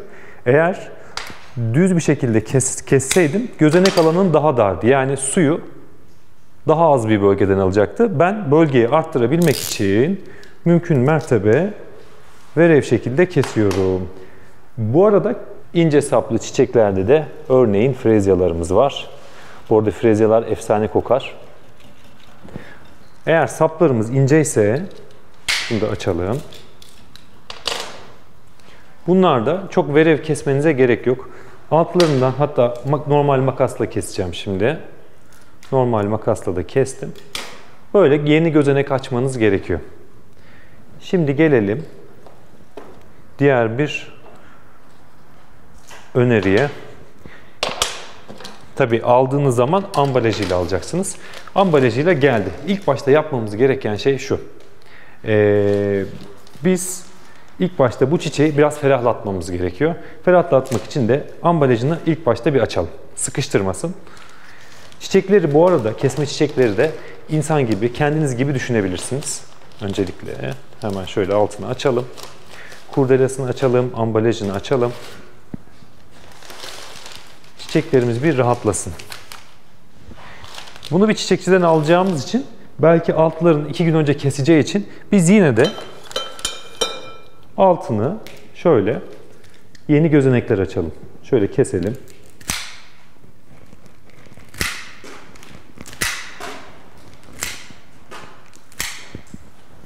Şu şekilde bunu da gösterelim.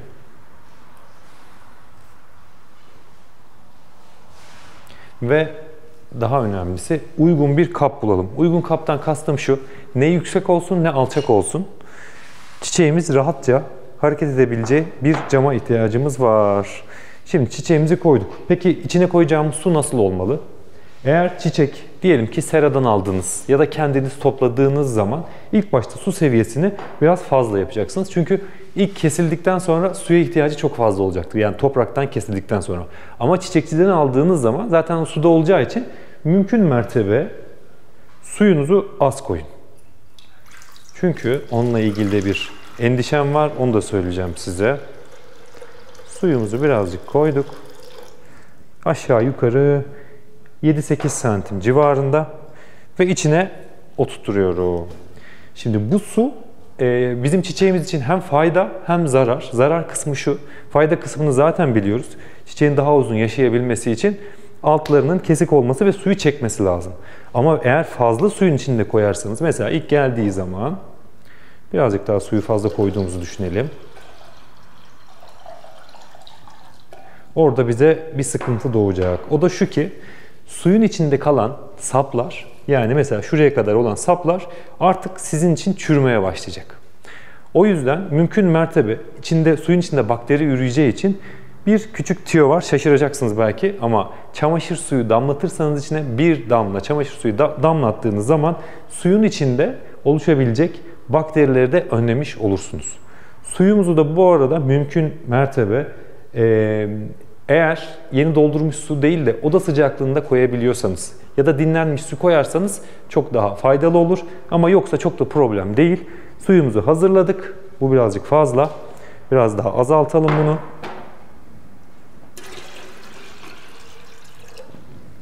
Azalttık. İçine çamaşır suyunu bir damla fazla koymuyoruz. Çünkü fazlası bu sefer bitkinin saplarını yakmaya başlayabilir. O yüzden çok fazla koymayalım içerisine. Bu arada çamaşır suyu koymak istemiyorsanız beyaz sirke, temizlik sirkesi de koyabilirsiniz. Hiç problem değil. Sirkeyi bir tık daha fazla koyun yani problem yok. İçine de koyduk güzelce. Ve bu suyu iki günde bir değiştirmemiz gerekiyor. Çünkü yine bakteri oluşumunu engellemek için. Bu arada küçük bir tiyo da söyleyeyim. İçine aspirin atabilirsiniz besinli, besin değeri için. Ya da bir litreye bir e, kaşık yemek kaşığı şeker de atabilirsiniz. Bu da aynı zamanda bunu besleyecektir efendim. Şu şekilde gösterebiliriz. İki günde bir suyunu değiştirdikten sonra yine çamaşır suyu koyduktan sonra oda sıcaklığına göre aşağı yukarı çiçekleriniz taze ise 15 gün sizinle beraber kalacaktır. Evet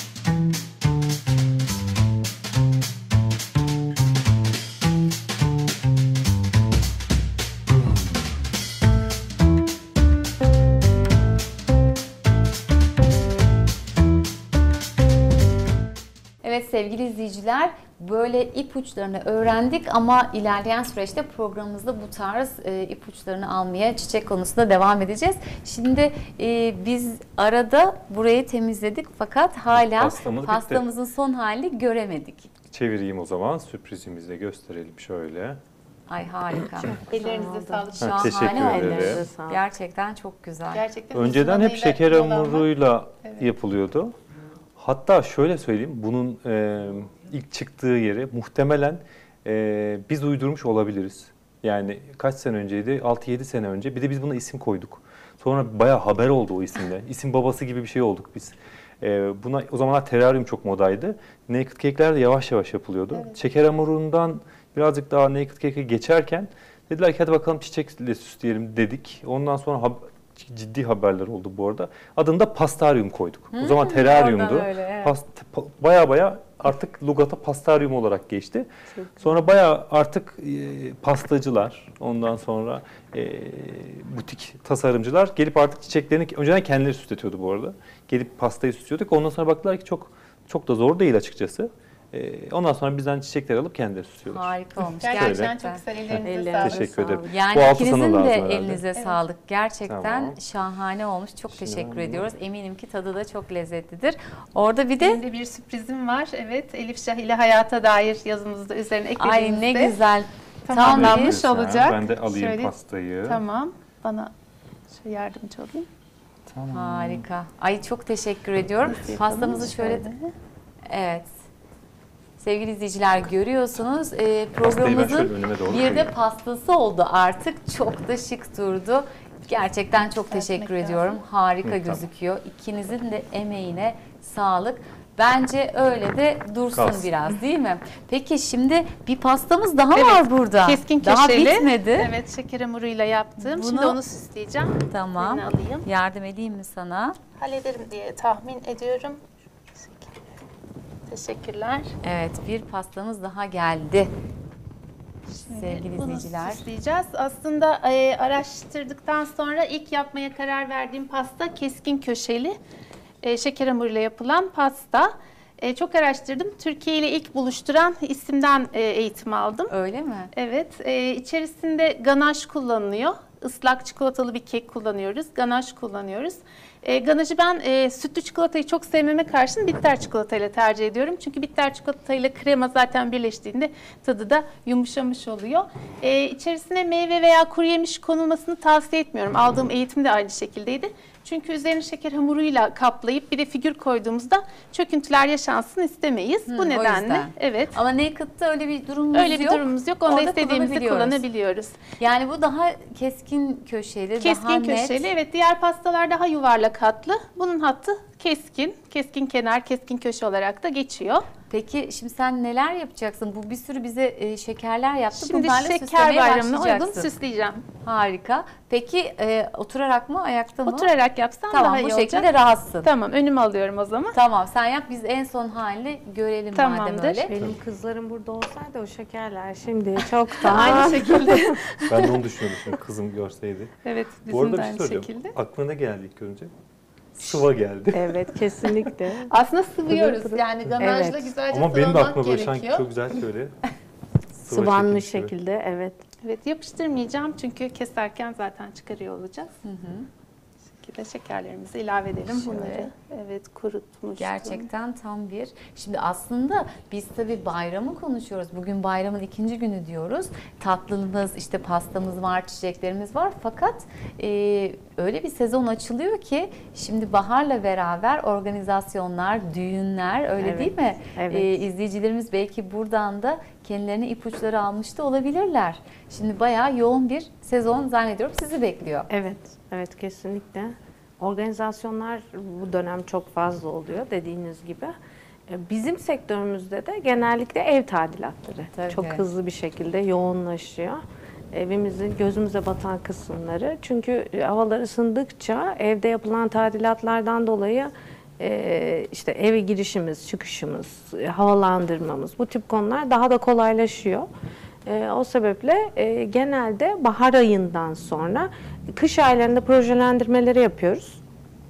E, seçecek malzemelere karar veriyoruz. E, üretim yapılacak olan e, mobilyalarımızın çizimlerini sonlandırıyoruz. Bahar ayında da kırım, döküm, e, işte tadilat işleri başlıyor. Tabii üretim bir taraftan devam ettiği için e, bu tadilat kısmı bitince de montaja geçiyoruz. Peki ben şunu soracağım şimdi yavaş yavaş programımızın sonuna da geliyoruz ama hani bahsettiğin için şimdi e, işte ev kiralamalar belki ev satın almalar başladı birazcık da bu Evet, yeni e, evet. evlilerin telaşında ya da işte tadilatlar. Mesela en önemli dikkat etmemiz gereken böyle çok kısaca bize e, önerilerin var mıdır? E, diyelim ki işte daha e, cam mekanlı mı olmalı? Hani tabii ki bütçemiz ön planda Evet. ama böyle yine de hani şu şu noktalara dikkat edilirse daha sonrası için de rahatlanır dediğin neler var? Bence kesinlikle bir evin aydınlık olması gerekiyor. Güneşin her halükarda evin içerisine girmesi gerekiyor ki o insan psikolojisini ve insanın enerjisini de değiştiren e, önemli etkenlerden bir tanesi. E, bir diğeri de bizler için özellikle hanımlar için e, mutfağın yani mutfak ne kadar kullanışlı, ne kadar geniş, ne kadar rahat olursa e, evin kullanımı açısından çünkü en çok vaktimizi orada geçiriyoruz. Kullanımı açısından çok rahatlayacağımızı düşünüyorum. Bir de çocuk odalarında hani çocuklarımız okul döneminde, okul çağında ise, çağında ise onların çalışmalarını rahat yapabilecekleri ortamlar olması gerekiyor. Bu sebeple e, yani metrekare olarak çalışma masasını, yatağını, dolabını nasıl konumlandıracağız bunları düşünerek özellikle ev kiralarsak eğer çünkü ev kiraladığımız zaman bu tip şeylere çok dikkat etmiyoruz. Taşındıktan sonra ilgimizi çekiyor. E, bence püf noktaları bunlar. Kesinlikle benim için bir de şey çok önemliydi. O daha önceki programlarda bahsetmiştin. Hani püf noktası olarak mutfak dedin. Evet. Mutfakta bir üçgen mi olması gerekiyordu? Hani değil mi öyle bir evet. şeyimiz vardı galiba. çıkarttığımız ürünleri e, evyemize çok lavabomuza yakın olması gerekiyor. Orada yıkandıktan sonra pişirme bölümüne geçmesi gerekiyor. Dolayısıyla bu üçgene dikkat etmemiz gerekiyor kesinlikle. Sen dikkat ediyor musun? Şimdi hemen direkt bunun altında bir sürü soru var aslında. Ya Ev işi yapıyor musun? e, yardım ediyor musun? Şöyle e, elimden gelince ya bu arada bir şeyler uydurmayı, yemek yapmayı ya da bir şeyler yapmayı çok hoşuma gidiyor. Ama tabii yine benim için de hani klişe olan şeyleri yap, yapasım gelmiyor da. Daha böyle değişik şeyler olsun. Biliyorsunuz bir de bizim e, milli olarak erkekler genelde kahvaltı hazırlar. Evet. Benim kahvaltım benim biraz geliştir. Çok Bayağı. güzel. E, yani onu net şey yaparım mesela misafir geldiği zaman ya kahvaltıya gelsin ya bizde kalsın sabah güzel bir kahvaltı hazırlayayım. Ben birazcık daha kahvaltıda Peki mutfaktayım. bayram kahvaltısını dün hazırladın mı? Şey hatta eşim hiç neredeyse yani ben varsam hiç elini kahvaltıya sürmez. Kahvaltı ben sende. bu arada şöyle de orada biraz aksiyim. Ee, yardım da istemiyorum. Yanımda biri de olsun istemiyorum. Kapatıyorum. e, kapıyı, mutfağın E, bu da kapısını. güzel değil mi? Evet müziği, kesinlikle. müziği açıyorum. Keyifle hazırlıyorum. Ah çok güzel. Toplama işi sende mi? E, genelde. Ha, bu, bu da Yani önemli orada bir ora- oran biraz- de değil diye Yani bekleyecektim oran ama. biraz düşük.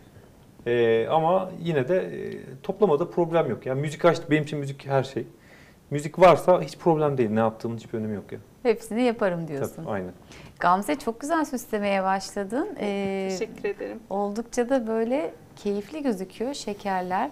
Şey- Şimdi aslında Masal gibi oldu bizim ya. tabii bayramın ikinci günü ama yarın da 23 Nisan bir taraftan hem bayramı Evet. kutlayacağız hem 23 Nisan'ı kutlayacağız. Bir, bu bir anlamda sanki e, 23 Nisan pastası gibi bile oldu. Bununla evet. ilgili tabii bize hep söylediğin galiba eğitim almadan biraz zor değil mi Kesinlikle. bunları yapmak? Ya eğitim almak da yetmiyor. Çünkü hani eğitim alıyorsunuz. Orada e, eğitmeninizle birliktesiniz. işte ekip arkadaşlarınızla birliktesiniz. Dayanışma oluyor. Mutfağa girdiğinizde birebir kendinizdesiniz. Evet elinizde bir reçeteniz var ama o kadar çok kek yakmışlığım, ganaj yakmışlığım var ki mutfakta terör estirmişliğim. Yapa yapa e, daha iyisini elde ediyorsunuz. Ölçü çok önemli pastacılıkta. Çünkü e, ölçü şaştığı zaman pek çok dezavantaj yaşayabiliyorsunuz. Gerek kıvamı gerek lezzeti. Ölçüye uyduğunuz zaman yapa yapa tecrübe kazana kazana en iyisini mutlaka yapıyor oluyorsunuz. Harika gerçekten çok şık gözüküyor değil mi? Çok Çok güzel. eğlenceli bir pastaya benziyor. Şöyle Peki. devam ediyorum. Şimdi e, Gamzeciğim biz yavaş yavaş programın sonuna geliyoruz. Zannediyorum Tamamdır. sen de pastanın böyle son aşamalarına geldin. Evet. Tabii sevgili izleyicilerimiz de yani burada bizim gerçi stüdyomuz da biraz çiçek bahçesi gibi oldu böyle. Bugün bu bayramı e, ikinci günde bizimle geçirdiğiniz için ben e, çok teşekkür ediyorum size. Biz Ama eminim ki sizin de böyle belki senden başlamak gerekir Berfin. E, bu bayramla ilgili hem bize hem izleyicilerimize söylemek istediklerim vardır diye düşünüyorum. Şöyle söyleyeyim, e, programın başında da bahsettiğin gibi biraz hüzünlü bir bayram yaşıyoruz gerçekten. E, Çok sıkıntılı dönemlerden geçtik. E, İnşallah kolaylıkla el birliğiyle omuz omuza bu günleri atlatırız. Daha güzel, daha mutlu, daha sağlıklı geçireceğimiz bayramlar yaşarız. Hepimizin bayramı kutlu olsun. Sağlıkla, mutlulukla inşallah. İnşallah. Bu arada Yasin sana gelmeden bitti galiba öyle değil mi? Arkada birkaç eksiğim var ama evet tamamlandı. Şöyle aslında bir gösterirsem de e, arkadaşlarım da galiba şöyle tam da kapatmadan göstereyim. Gerçekten birbirinden şık, birbirinden keyifli ve farklı iki tarz pasta. Hatta belki bir tanesi daha böyle baharı da konuştuk ya bugün. O e, baharın bize Evet. getireceği organizasyonları, e, yenilikleri, o heyecanı. E, bir tarafta da hem bir bayram hem bir 23 Nisan'ı sanki Evet. e, anlamlandıran pastalar gibi. Peki Yasin hemen senin de bayramla ilgili bize iletmek istediklerini alayım. Ya bayram deyince benim aklıma özellikle e, şeker bayramı, Ramazan bayramı deyince aklıma şey gibi geliyor. Yani bir e, bayramı kutlayan ve bayrama ihtiyacı olan e, iki kısım var gibi. Çocuklar kutlayan ve neşesi. Bir de e, bayrama ihtiyacı olan, birlikte olmak isteyen birazcık daha orta yaş ve hatta yaşlıların ihtiyacı var. Orta yaş arada kalan sanki onların yapıştırıcısı gibi. Ee, biz bizim işimize düşen birazcık daha yapıştırıcı olmak. İşte birazcık dedeyle e, torunu bir arada tutup ondan sonra bunu nesilden nesile aktarmak en güzeli bence. E, onları unutturmamak gerekiyor. İnşallah daha nice bayramlarda dedelerle torunları e, buluşturacağımız bayramlarımız olur sağlıkla. İnşallah. Çok İnşallah. güzel. İnşallah. Peki Gamzeciğim senin de e, bayram mesajını alayım ben. Ee, ben de arkadaşlarıma katılıyorum. Çok güzel söylediler. Keyifli, mutlu, e, sevdiklerimizle birlikte kutlayabileceğimiz şeker tadında bir bayram diliyorum hepimiz için. Evet ben tekrar hepinize ayrı ayrı teşekkür ediyorum. Beni kırmadınız. Siz de böyle şeker tadında konuklarım oldunuz. İyi ki geldiniz efendim. Çok teşekkür ediyorum hepinize. Biz teşekkür ederiz. Evet sevgili izleyiciler biz bugün bayramın ikinci gününde yine böyle birbirinden keyifli konuklarla karşınızdaydık. Diliyoruz ki bu bayram gününü bizimle geçirdiniz. Biz sizinle birlikte olmaktan çok büyük mutluluk duyduk. Hem bayramı konuştuk hem aslında baharı karşıladık. Önümüzdeki günlerde yine programımızda karşınızda olacağız. Ama yarın bayram özel 3. güne ait programla karşınızdayız. Hem bayramımızı kutlayacağız kutlayacağız hem 23 Nisan'ı kutlayacağız. Biz tekrar burada olacağız. Görüşünceye dek hepinize ayrı ayrı sevgiler, saygılar diliyoruz efendim. Mutlu kalın, hoşça kalın, sevgiyle kalın.